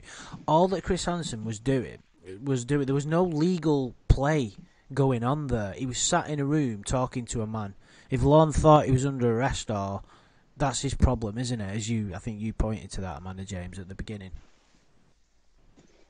Right. And Chris never pretended to be a police officer. He never tried to give that impression. He simply asked the predators to sit down and talk to him about it. Yeah, and, and, and sometimes the, the, the way, he, if you were to argue that Chris acted like a police officer at any time, it would be the times where he told people to take their hands out of their pockets. Mhm. That, but he didn't do that with Lorne. So Lorne, Lorne had nothing in his pockets. Um, in Brady and Bagley, the Supreme Court held that due process under the Fifth Amendment requires the prosecution to disclose favourable evidence to the accused. Oh. There is none. Sorry. I mean, what did he expect that? What did he think that the prosecutor had in his file that would exonerate him? He's probably he's probably just like one of these. You know, if I if I just come out with this, some med- evidence will magically appear and I'll get off the hook. It's just crazy. Like he thinks he's in Harry Potter land or something. Um, right, he's just rambling here. He really is rambling. Um, oh, hang on. Uh, is required to disclose Armstrong's statements of substance of any relevant oral statement made at the time of petitioner's arrest must be disclosed and made available. What? Yeah, but he's not But saying is- what. He's not saying he's not. He, he's not pointing to a fact, not dicta, not from a law, but he's not a fact in his case where he says the prosecutor withheld exculpatory evidence. He's not saying that. He's saying they can't do that, but he's not saying they did it here. They- oh well, he's saying that blanket, just just a conclusory, you know, statement. That's it. But he's not saying this is what they specifically what they did not give my defense attorney. Mhm. It's ridiculous. I mean, I don't even have to say that. Sorry. Fucking weird. Um, okay, so he's just he just Witness statements. What the yeah, fuck? Miranda rights when petitioner arrived at the Stinger. Oh, this. Um, do, do you mind doing so again, Amanda? We love listening to your voice. You sound so Yeah. sweet. When Petitioner arrived at the Sting House, he was confronted by NBC's decoy. Then he spoke to her, but most of his conversation was with Hansen. Mr. Hansen did not identify himself as a police officer or as one who was working with any law enforcement agent. Okay, right, he didn't. Also, Hansen did not read the Miranda rights to Petitioner. He thinks it's like it was a police interview, doesn't he? Right. Why would Chris Hansen have to read the Miranda rights to him? Especially He's you not. said he wasn't identified as a police officer. He thinks that that conversation is like is pol- his police evidence. So I think Well, throw it out. Throw it out. That's what I say. You know, okay. You got a problem with it? Throw the throw the interview out. Let's just talk about your phone calls and the chat log now. Yeah, exactly. That's what you'd do. If he'd have brought this up before, you'd have just gone, see that? I'm setting fire to it. No problem. I, you know, I don't even think that the prosecutor needed this. Maybe they wouldn't even presented it. Um, but you know, what did he say at his interview? He said uh, it was supposed to be 13. Okay, I got that, but he got Gillingham got that out of him. Um, He talked about Amanda James. He Yeah, did James, he did admit that he was going to sleep with her in the chat. Uh, yeah. it- well, again, we're, we're limiting it to what he told Chris. He no, said he, that he he, said he, he said that to Chris because Chris said, "Lorne, you bro- you you, wo- you wore um, your broad condoms. You had an explicit conversation." And, I he, know. and then he goes, exactly. So that at that Yeah. point, that was an admission. So he goes, "What does that add up to?" He didn't say. Right. That- What is that up to? He said, you I know. It was really nothing what Chris did in terms of evidence against him. But Lorne twists it in his mind to think that that conversation had bearing on his case because basically what he's pissed off at is the fact that he coughed his, you know, he spilled his guts in front of Chris Hansen and basically said what he was there for. And now he's trying to say that they shouldn't have done that, that it was, you know, unconstitutional. He's just trying every trick in the book, isn't he? And this is why all of this, I mean, we had the. This is a little bit not quite as humorous as what we read last week because you've got no female powers and sly and cunning decoy. But this is what angers people so much that it's every possible avenue he could possibly think of. He's left no stone unturned when it comes to avoiding responsibility, when it comes to blaming someone else. Every single entity that's been involved from start to finish in getting him prosecuted is to blame except him. Everybody. In mm-hmm. abundance. You know, Chris Hansen, the police, perverted justice, the government, the fucking cameramen. You know, I'm sure the cleaner had a he had a problem with the cleaner at some point. You know, literally that's why it pissed people off so much, and that's why, ironically, he got so much shit. It's karma, isn't it? You know. I mean, you know, the more I think about it, it, it, you know, the Chris Hansen interview could have been made into a better legal argument. You know, uh, where the where he was working hand in hand with police. They call him a, a you know um, uh, a quasi uh, state official in that situation because they're recording everything. And like Ford says here, you know, after Chris was done with him, the cops would take him into custody, and that would that actually legally when he was in custody. But you can make an argument that uh, you know, again, Chris uh, did violate his uh, uh Fifth Amendment right and everything else.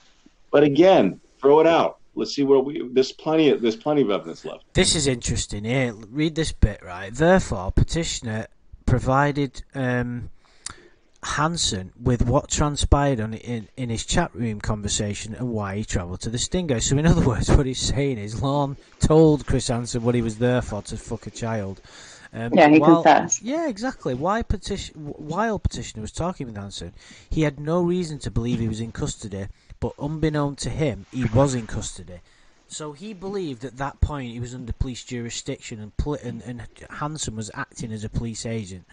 He's, but that, but that's not true. I mean, you can make an argument of that, but but again, merely just throw out Chris Hansen's interview from getting uh, entered into evidence. Mm-hmm. Petitioner's conversation with Hansen must be considered a confession of petitioner's overt acts. I don't understand what that means. He's basically saying that you know he spilled his guts to Chris, but he really didn't. I don't. Think he, he didn't. Yeah. He really didn't. He made a bunch of excuses.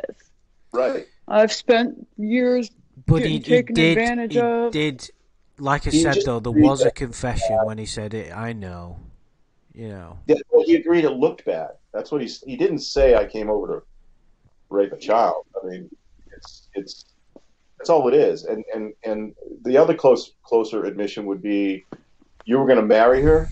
Well, I was going to wait. you're going to have sex until she was 18, you know, and, and, he denied that. He actually, I think mm-hmm. he said, mm-hmm. and so there was no admissions here.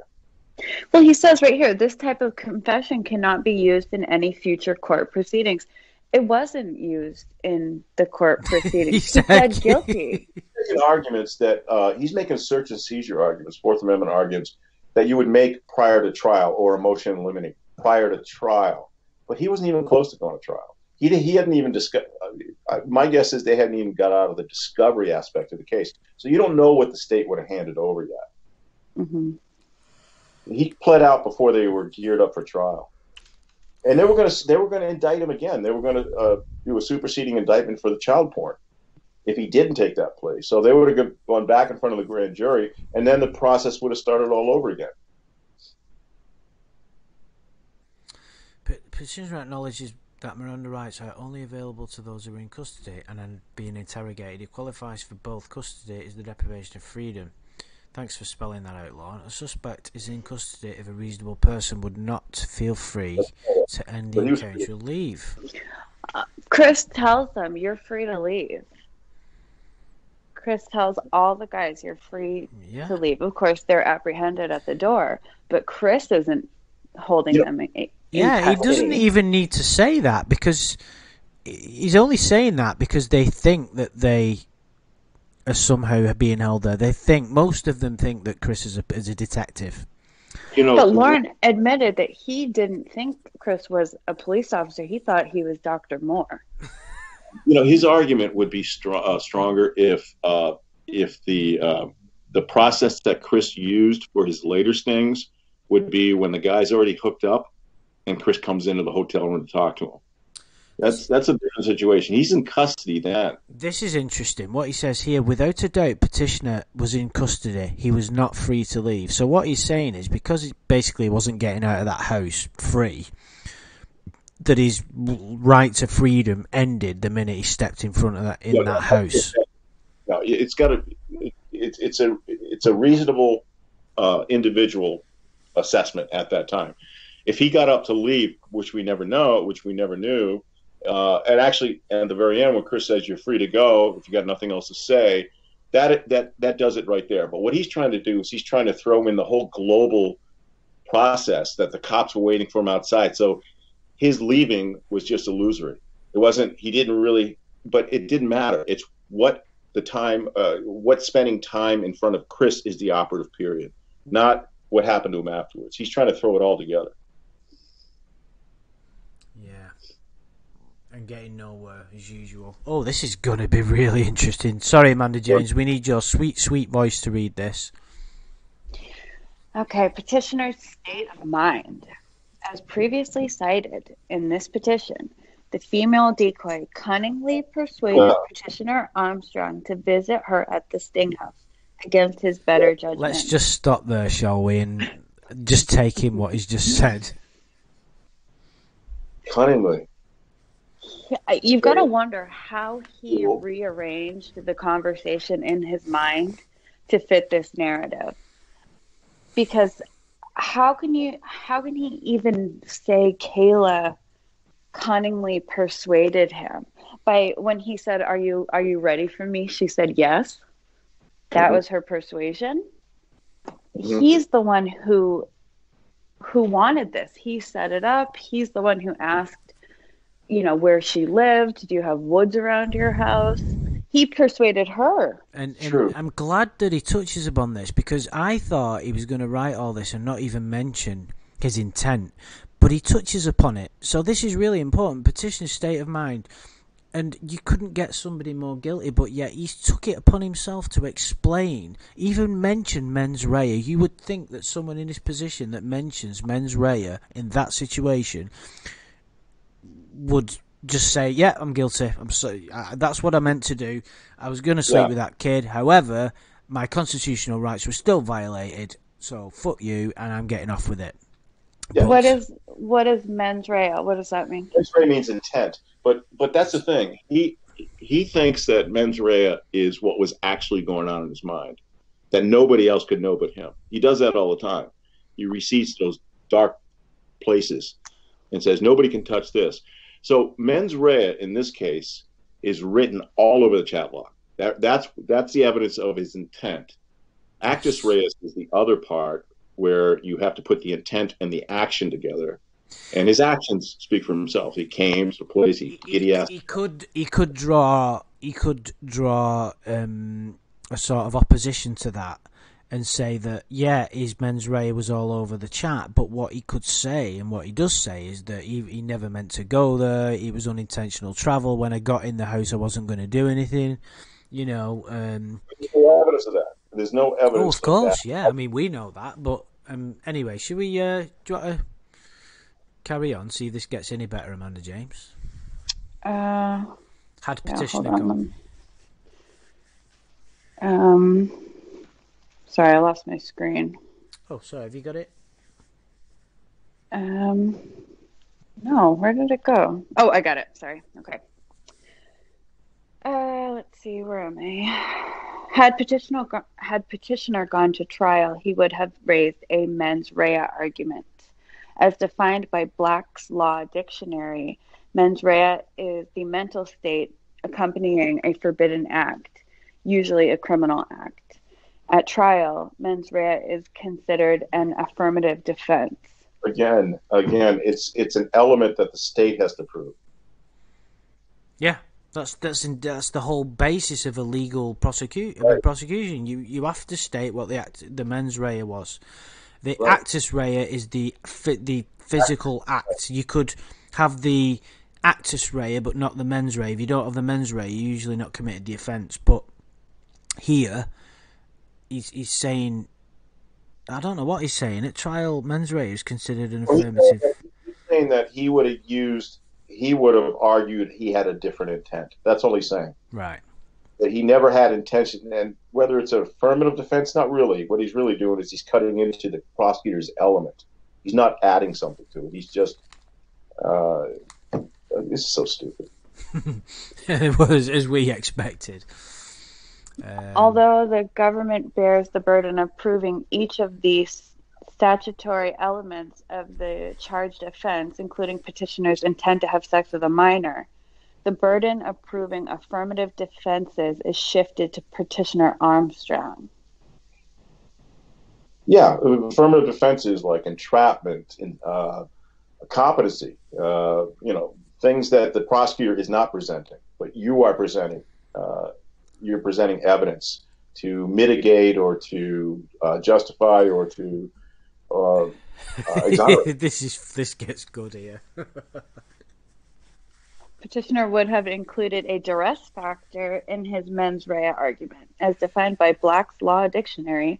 Duress is an action by a person, in this case, the female decoy, which compels another, in this case, the petitioner, to do what he would not otherwise do. Had petitioner not been in such a vulnerable state of mind, he would not have succumbed to the female decoy's persuasion. That is, he, he's completely forgetting, it seems, that he's done this before. Yeah. You know, he should change the word uh, duress factor to horny factor.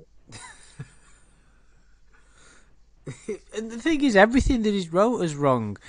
He was in such a vulnerable state of mind, he would not have succumbed to the female decoy's persuasion like we've uh, like, we don't need to keep reiterating the same thing, but there was zero persuasion. There wasn't even a mm-hmm. hint of it. She was so. I think she was the most dismissive decoy we've ever seen, mm-hmm. which is great because it doesn't give him a leg to stand on, and it makes the, the this even more funny. Well, you know, to even bring it even more basic, even if he didn't show up at the house, he committed crimes. He would have been picked up I don't know what his appeal would have looked like in that situation, but you know, uh, you know, exposing a minor to pornography, uh, to his own images, uh, even well, maybe not the uh, uh, the attempted production of child pornography because he didn't show up with a camera, but uh, delinquency, contributing to delinquency of a minor, all kinds of charges, luring, internet. didn't matter whether he showed up or not. this kiss is great. Evidence to support his duress, this his duress theory can be gleaned from his pre-trial psychological breakdown. Right? Is that an official thing? Did we get an actual psycholo- psychological report, or is it just his fucking word?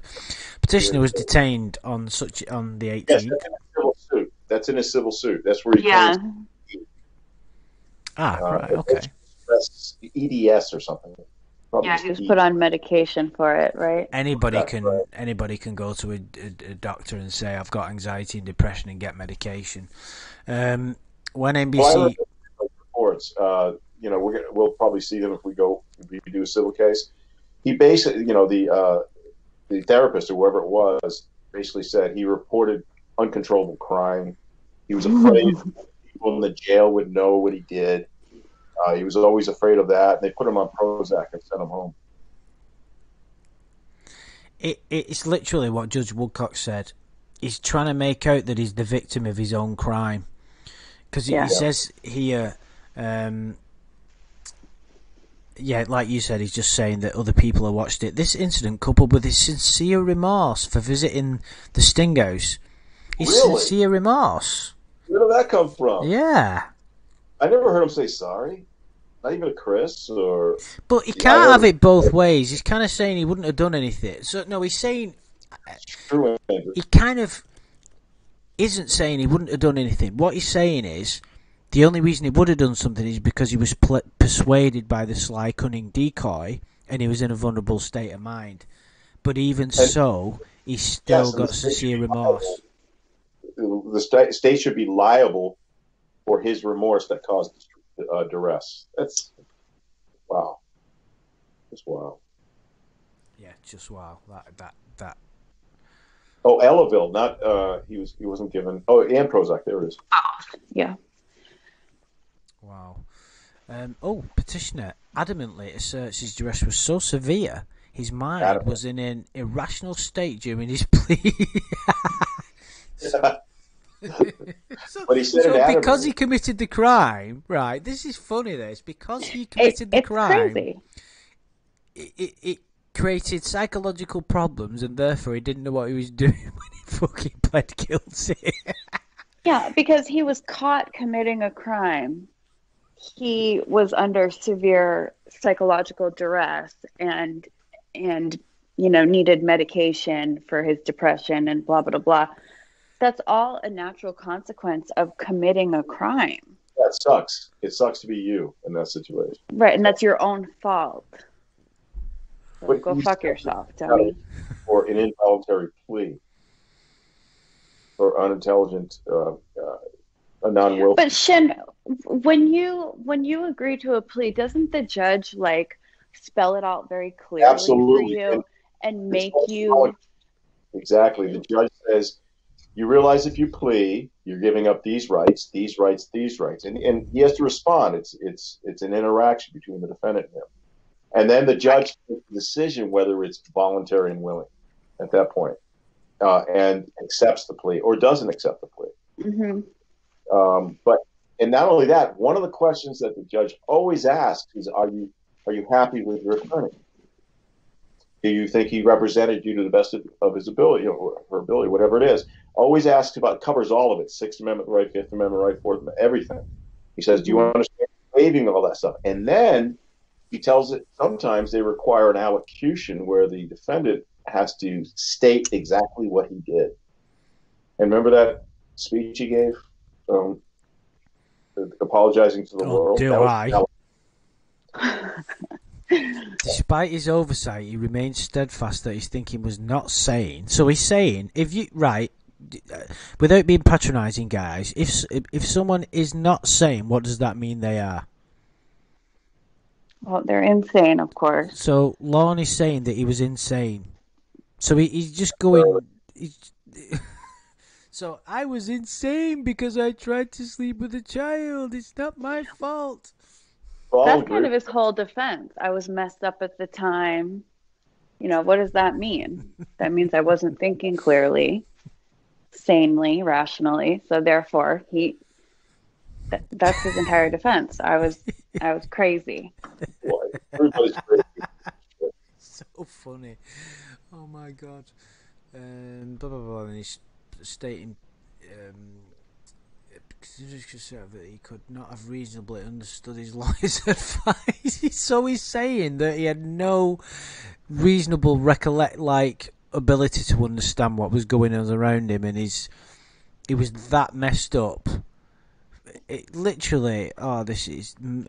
How is that possible though? When he says the the reason he took the guilty plea was because they were threatening him with a much longer sentence with the the um, additional child pornography charges, and then he says he he he didn't have a reasonable understanding of the severity of the charges. So which which is it? I don't know. He doesn't. Yeah. I, I, I, I, think yeah, but he doesn't know. We don't. We certainly don't know.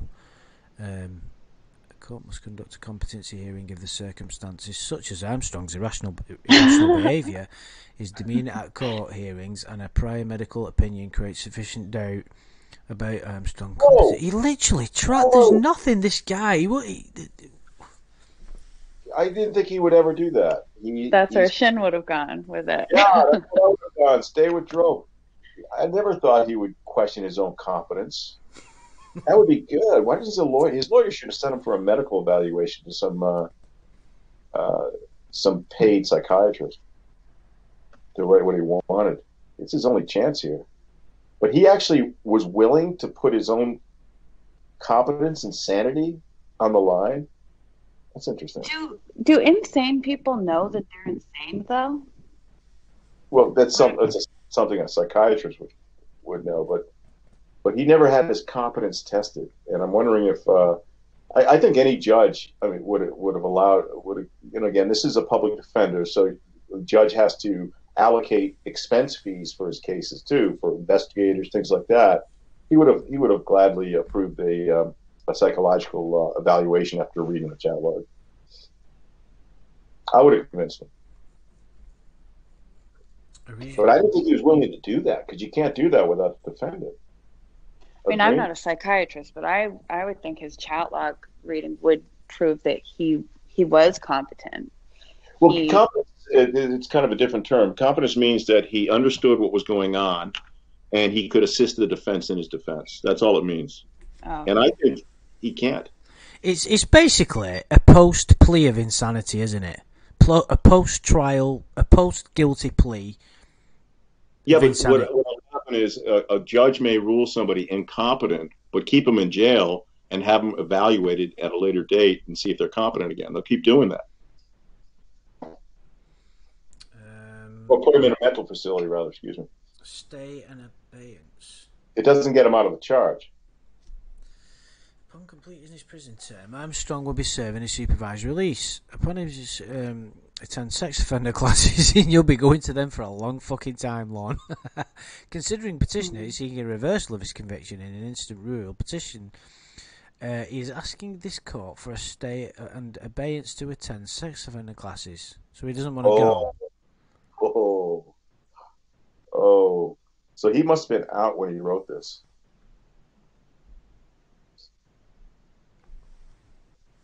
Wow, he's getting. I'm surprised he's not asking to get taken off the RSO registry. Well, he tried to do that, didn't he? A later date that we were witness to. Um, petitioner's instant petition. He is raising new claims. Blah blah blah. blah. Okay, so first thing he's asking for is a stay from probation counseling. Got it. Okay. I've always wondered what is he asking for in the end of this thing. So he wants a stay. So he wants to get out of prison and have his conviction overturned and just be a free man, have no probation, no sex offender well, treatment. It can't really be overturned. It's a plea. They would just revoke revoke the plea and have him come back in and. Well, didn't he just say that? Go to trial. Didn't...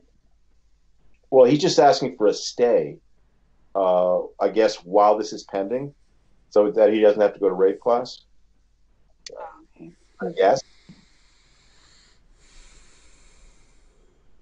Retain jurisdiction. Okay, yeah, he's just asking for stay. He's not asking for a reversal. He has clearly shown uh, cause and has meritorious arguments. Clearly. Yeah. Um, oh, respectfully submitted, Lorne Armstrong, pro se, June twenty second, two thousand twelve. Um, he was he was still inside then, wasn't he? Uh, I don't know. It? G- G- G- the twenty second of two thousand twelve. Well, I mean, what what month? June twenty second. No, he, he was just, in that. He didn't get out until close to Christmas. He says right here, the petitioner is asking this court to overturn his conviction and set him free. It's not a conviction. Right. Uh, well, comes back. You know. Right. I, I understand. The best he could hope for would would be to what revoke his plea and and have a trial. Overturn his conviction and set him free. Well, that's the only thing the court could do. I mean, he's arguing all these. He's he's putting all of this stuff as if he would be arguing it once he's back on the trial list at a motion to suppress or motion to dismiss and everything else. He's trying to do it all in one batch on an appeal, which he, by the way, waived. But he, he says nothing about the reason he wants to revoke his plea. He's got to get that get past that step first to get back on the trial list to fight this thing like he wants to. And the reason why he, from what I remember, the reason why he is claiming that his his uh, his plea was not free and voluntary is because of ineffective assistance of counsel. And he says nothing about the lawyer doing anything wrong. See whether there's anything else worth uh, in order to appear legitimate in front of TV cameras. The owner and members of purchase have gone to considerable effort to hide a number of very important facts from you. The viewing audience. While it makes for compelling, exciting television that will certainly assist and MSNBC in enhancing their ratings. Truth behind perverted justice real operation is considerably different than what they portray for the cameras. Considerably more terrifying to those who take the time. Oh God, this this guy just will not stop his fucking nonsense, will he? Oh wow, this is good. You can't believe everything you see on TV. While they attempt to portray themselves as a legitimate watchdog group who works with police, the facts show a very different side to pervertedjustice.com.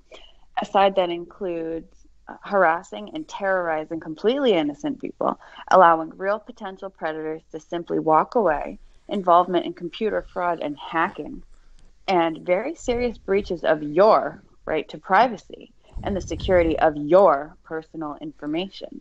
This site, corruptedjustice.com, oh my God, this is what an idiot exists to help expose the truth regarding this vigilante group. While we applaud pervertedjustice.com for working with police during their latest group media bust with Dateline, we will continue in our efforts until every single bust is handed over to legitimate law enforcement for resolution rather than by perverted justice's own vigilante volunteers. Now he's just going to go into trying to prove yeah. Uh, Xavier, there he is. Xavier, the devil. Xavier von Erck. Questions, uh, actual predators. Yeah, we could we could go into this. I think you get the gist of it, guys. Is is yeah. this? We, we've I think we've seen the highlights. We've seen the. Um, let's see if we can pick out a few. Um, I wonder once he once he filed this, uh, whether he was totally confident that he was going to be sprung free, and may have been, uh, you know, telling his cellmates and everything else. Well, you got to get used to a new bunkie now. I'm going to be getting out of here. I wonder how confident. I he Tiffany asked him that, and he said he was hopeful. And I think just knowing Lorne like we do, I think he he probably was pretty confident he we've seen the power of his delusional mind. So I think he talked himself into really believing all these arguments were solid and you know there really was a miscarriage of justice in his case. So I think yeah. he was pretty confident about it. I remember something like he planned to write a book exposing someone. Yeah. I yeah. don't know who. Money. Uh, Dateline uh, or something. Yeah, that was in his uh, his letter to his mother. Mm-hmm. But um, I don't. Know, I, I just wonder. I mean, where did he get this confidence?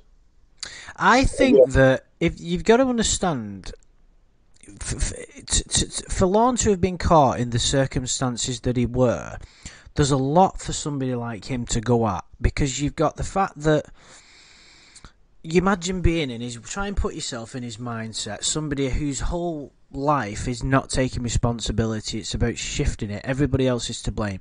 You could point to all these things about oh my god there's this vigilante group. I'm going to have them. Oh my god chris hansen claims he's a police officer. I'm going to have him. Oh my god um, i pled guilty and they threatened me with with uh, child pornography. That's bullshit. There's all these things that you can go at like all these out all there's a lot of elements which make up his crime. So there's a lot of other people involved a lot of other entities. It's quite a complicated scenario.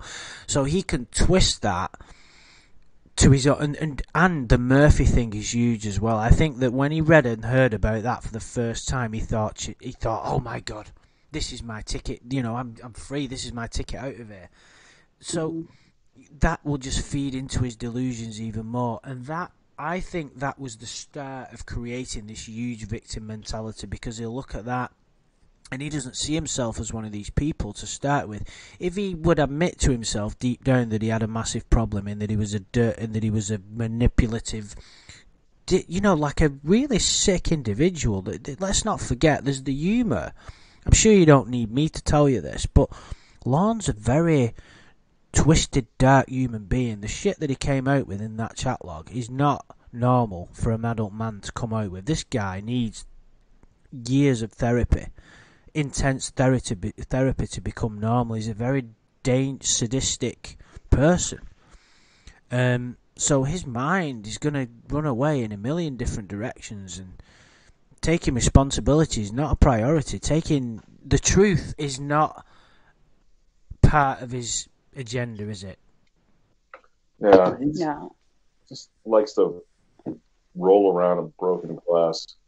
It's, He's incredibly selfish. Nothing will ever be his fault. And he'll even try to twist his wrongdoings into some sort of like heroic feat. He, he did it for a good reason, for a heroic reason. Um, like he went to, he, he told somebody, I think it was probably Ramona, that he went to the Sting house to, to actually check on Kayla because she was a 13 year old girl and she was home alone and he was concerned about her. And he was just trying to be a good guy. I mean we heard that over and over again. I was just trying to be a nice guy. She said no one would talk to her. So i spoke to her not because i'm a dirty old pervert who wanted to you know abuse a child. I spoke to her to to do her a favor to help her out because i'm i'm the hero the same reason he talked to MySpace girl she had a lot of problems and, and then he, he was there for her Yeah. and he says something contradictory, like she wasn't after my money. Mhm. you know, which is the opposite of I'm there to make sure a child is okay. In that situ- in that scenario, the child wouldn't be you wouldn't have to worry about the child being a gold digger. You know, but when he Mhm. She was- she she was somebody who finally didn't want care about what was in my wallet or whatever it was, that that cuts against that argument that he came over to see a child to take care of her as a child. He's looking at her as a uh, as a romantic interest and somebody who was worthy of his attention because she didn't want his money. Right, but again, he doesn't want to be such a villain that he'll come right out and admit I I was interested in her because I wanted to take her virginity and destroy this innocence that she had. He thinks it'll make it slightly less evil to say, "Oh, it's because I was so starved for love because my family mistreated me that all I could see was somebody who finally was caring about me rather than wanting to use me like mm-hmm. everybody else has used me. I'm such a victim. I'm such Yeah. a hero. I lost all of my money because I have such a big heart. And that's actually a quote. I have such a big heart that I helped people out too much and lost all my money in in the process. Yeah, that's a good point. He turned round that that mac and cheese story. How is it that when he was going to say an example of his past, it was because he was too good a person and got taken advantage of? hmm It's remarkable, isn't it? He said that on one of his assignments for his rape class, they asked him, What will it take for you not to offend again? Or it wasn't worded that way, but I think you understand what I mean.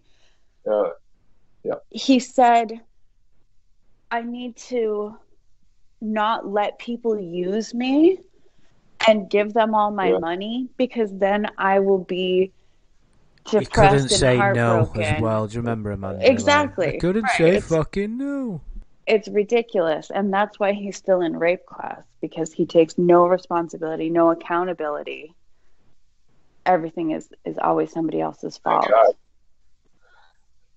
you know what's uh, who was it? Uh, wrote us. Lorne says he's always loved kids. You know that that's kind of strange. There was a one one uh, quote that he He said. sure has.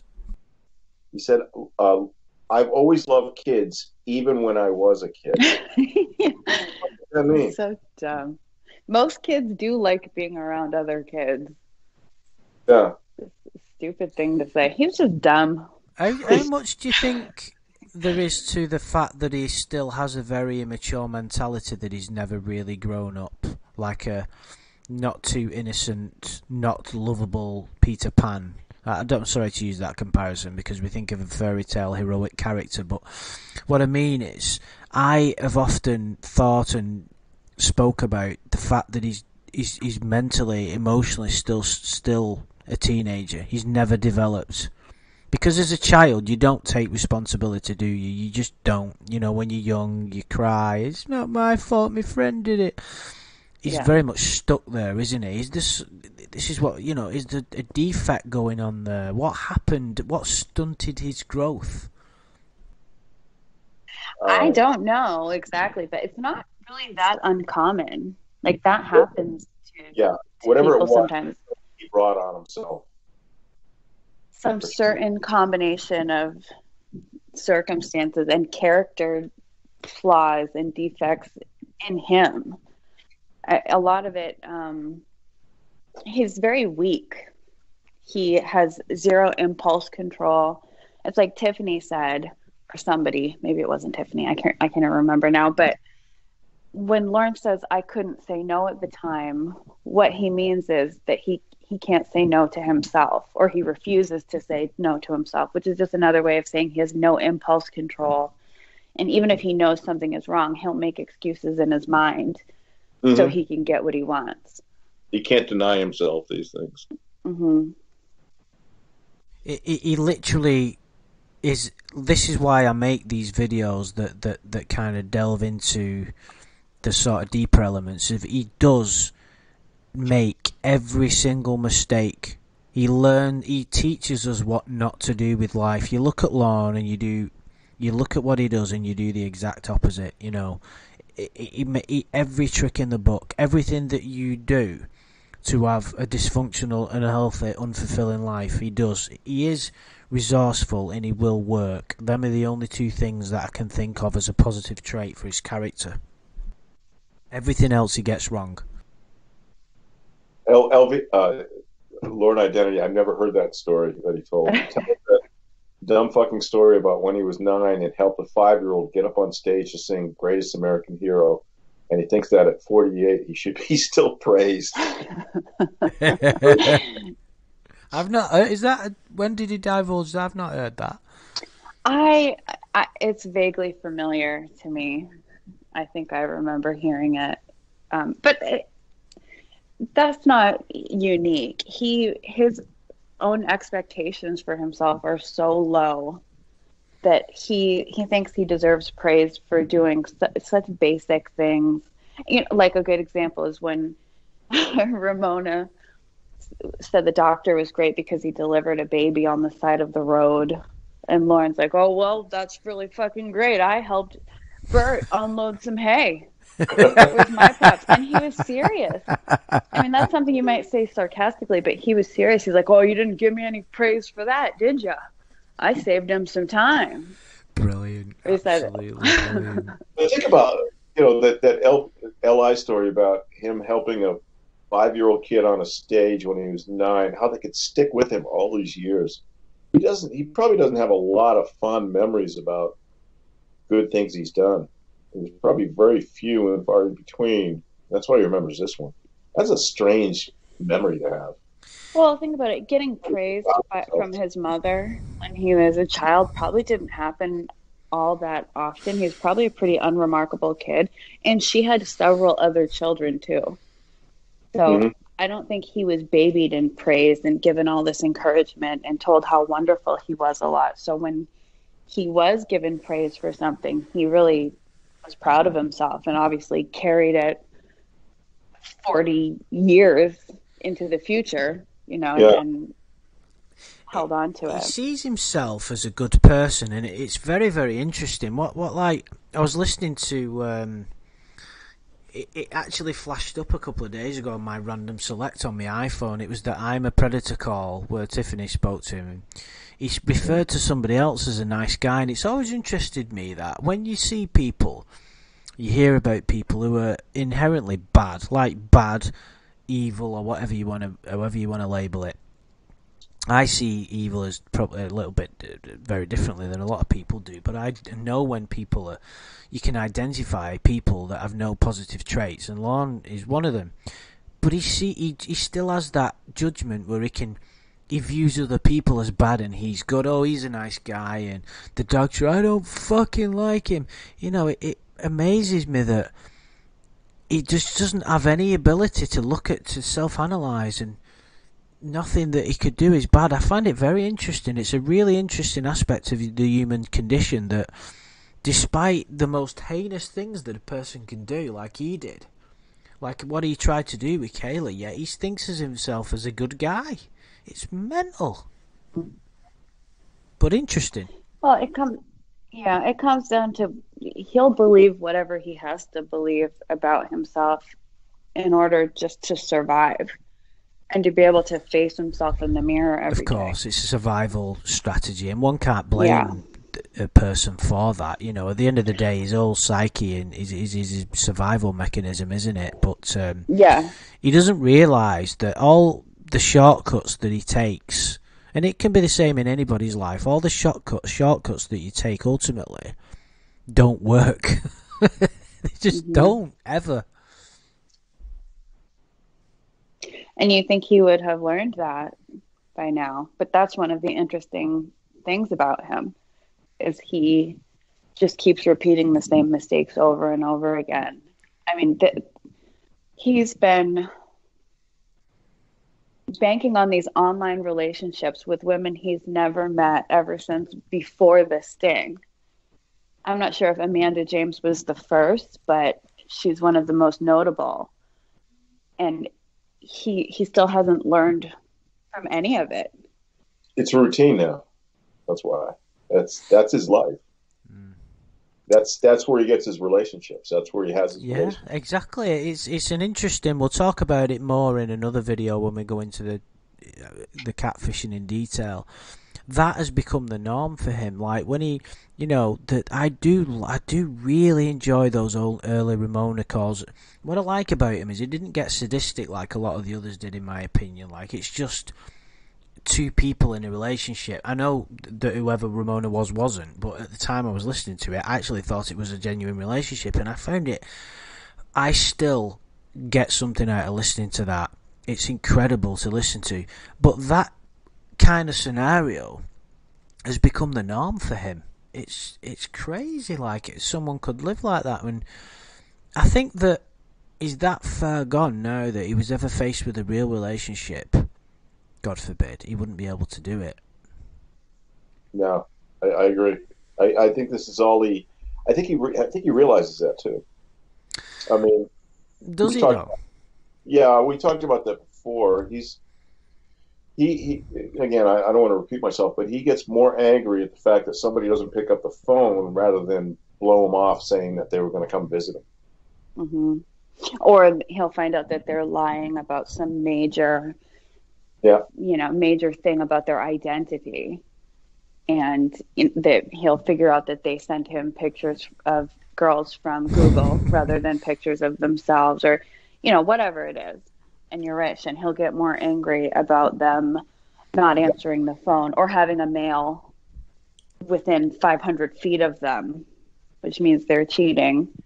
That, that, I- Yeah, so that's why I think he's he's satisfied with these catfish relationships. I think he's that fulfills him. I mean, it, for him, for anybody to actually come and visit him, he, I think in the back of his mind he realizes, you know, his hobo life isn't something that every every girl dreams of. Um, so he can create his own little world on a telephone. Um, Mhm. look at you know we talked about this before and you guys didn't kind of didn't agree with it but if he was with a real woman uh, first of all it wouldn't last that long and she would have to be feeble-minded i guess but um, I, I don't know um, how he would settle into that life. I don't know. I mean he's never had a girlfriend right? We know that. Uh, he admitted that. Uh, so he's never had a relationship. And his relationships are all de- uh, depend on basically two issues: you're cheating on me or you're lying to me. Those are those are basically what, what he thinks relationships are all about, and that's probably from parroting his parents or, or you know Dale and uh, uh, Gwen going at it, you know the same, or even his brothers and their and their uh, their wives. But I don't know. I think to, I think he'd be scared to think that somebody came in and guess what? They're going to stick with you for a long time now um, but not unconditionally. If it was unconditionally, he'd be fine. He would definitely be scared. Yes, that that would be his his number one goal would be keeping that person, trapping them, trying to figure out some way to make sure that they can't leave. Right. The closest. Be it by marriage, yeah. isolating them from their friends and family. right, absolutely. Especially now, they would definitely not want to, want their child or sister or whatever to be with somebody like that um, when they have such a such access to their public record. Yeah, my God, can you imagine just googling him? Oh, let me see who you're dating now. Oh my God, but um, I don't know. I think he, I think he's satisfied. I think this, as long as he feels like he's in a relationship, you know that I, I keep going back to that phone call that Raptor uh, put up about the, him talking to himself for three hours. Well, he really what what was that? I love that one. Just that. No, but Yeah, I who mean- was he? Who did he think he was talking to? He thought he was talking to Winnie, but Winnie, you know, was on the phone recording, obviously, but she didn't say anything. So we got we got to hear. So Him going- there's none of there's none of her voice then. No, no. Right, I'll have a listen to that then. You got to listen, say a single word. But you got to put headphones on too. Um, but you hear everything. You hear the interactions between him and Roy. You hear him as soon as he gets up in the morning. And by the way, I didn't hear him brush his teeth at all. And he takes a, Oh, good point. and he takes a 16 to 17 minute uh, shower. Uh, and, and, and the water, the way it comes off his body, it sounds like it's sludge. I can't believe you. You're talking about the contours of Lorne's body as the water's dripping off. Give the guy a fucking break, dude. It sounds like he's wading around in, in, in like seven inches of water too. You know, it's just so sloppy and gross. It's Have you heard that, guys? Lorne Does doesn't do very well in a in a shower. The water just doesn't fall off him right. because what he does is he, as he's uh, he, you know he's, he's talking to Winnie, even though Winnie's not responding, and he's going through his whole day and what he's doing, and he's happy that you know that he's got Doritos in his truck, and that's what he does. He smokes a cigarette, he drinks coffee, doesn't brush his teeth, and eats Doritos in the morning.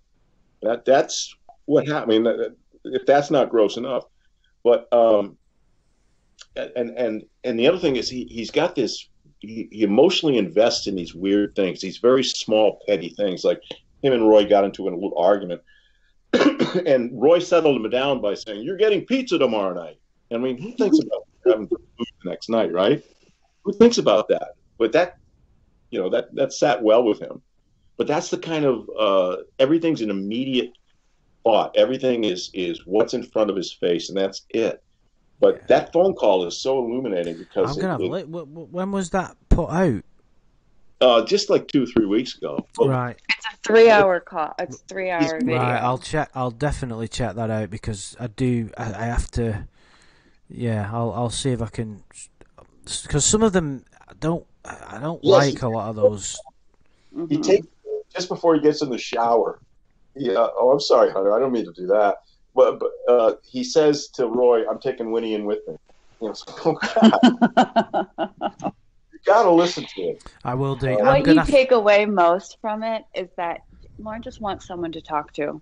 That's it. You can He's tell so that. lonely. Yeah, you, you you do occasionally a little bit of empathy creeps through, and you go, oh, the, "Is anybody that lonely?" And then obviously you think it's Lorne and what he tried to do, and it disappears. But you know, we're we're wired to have empathy for for the suffering another of another creature. You do think, you know, God, what a shame.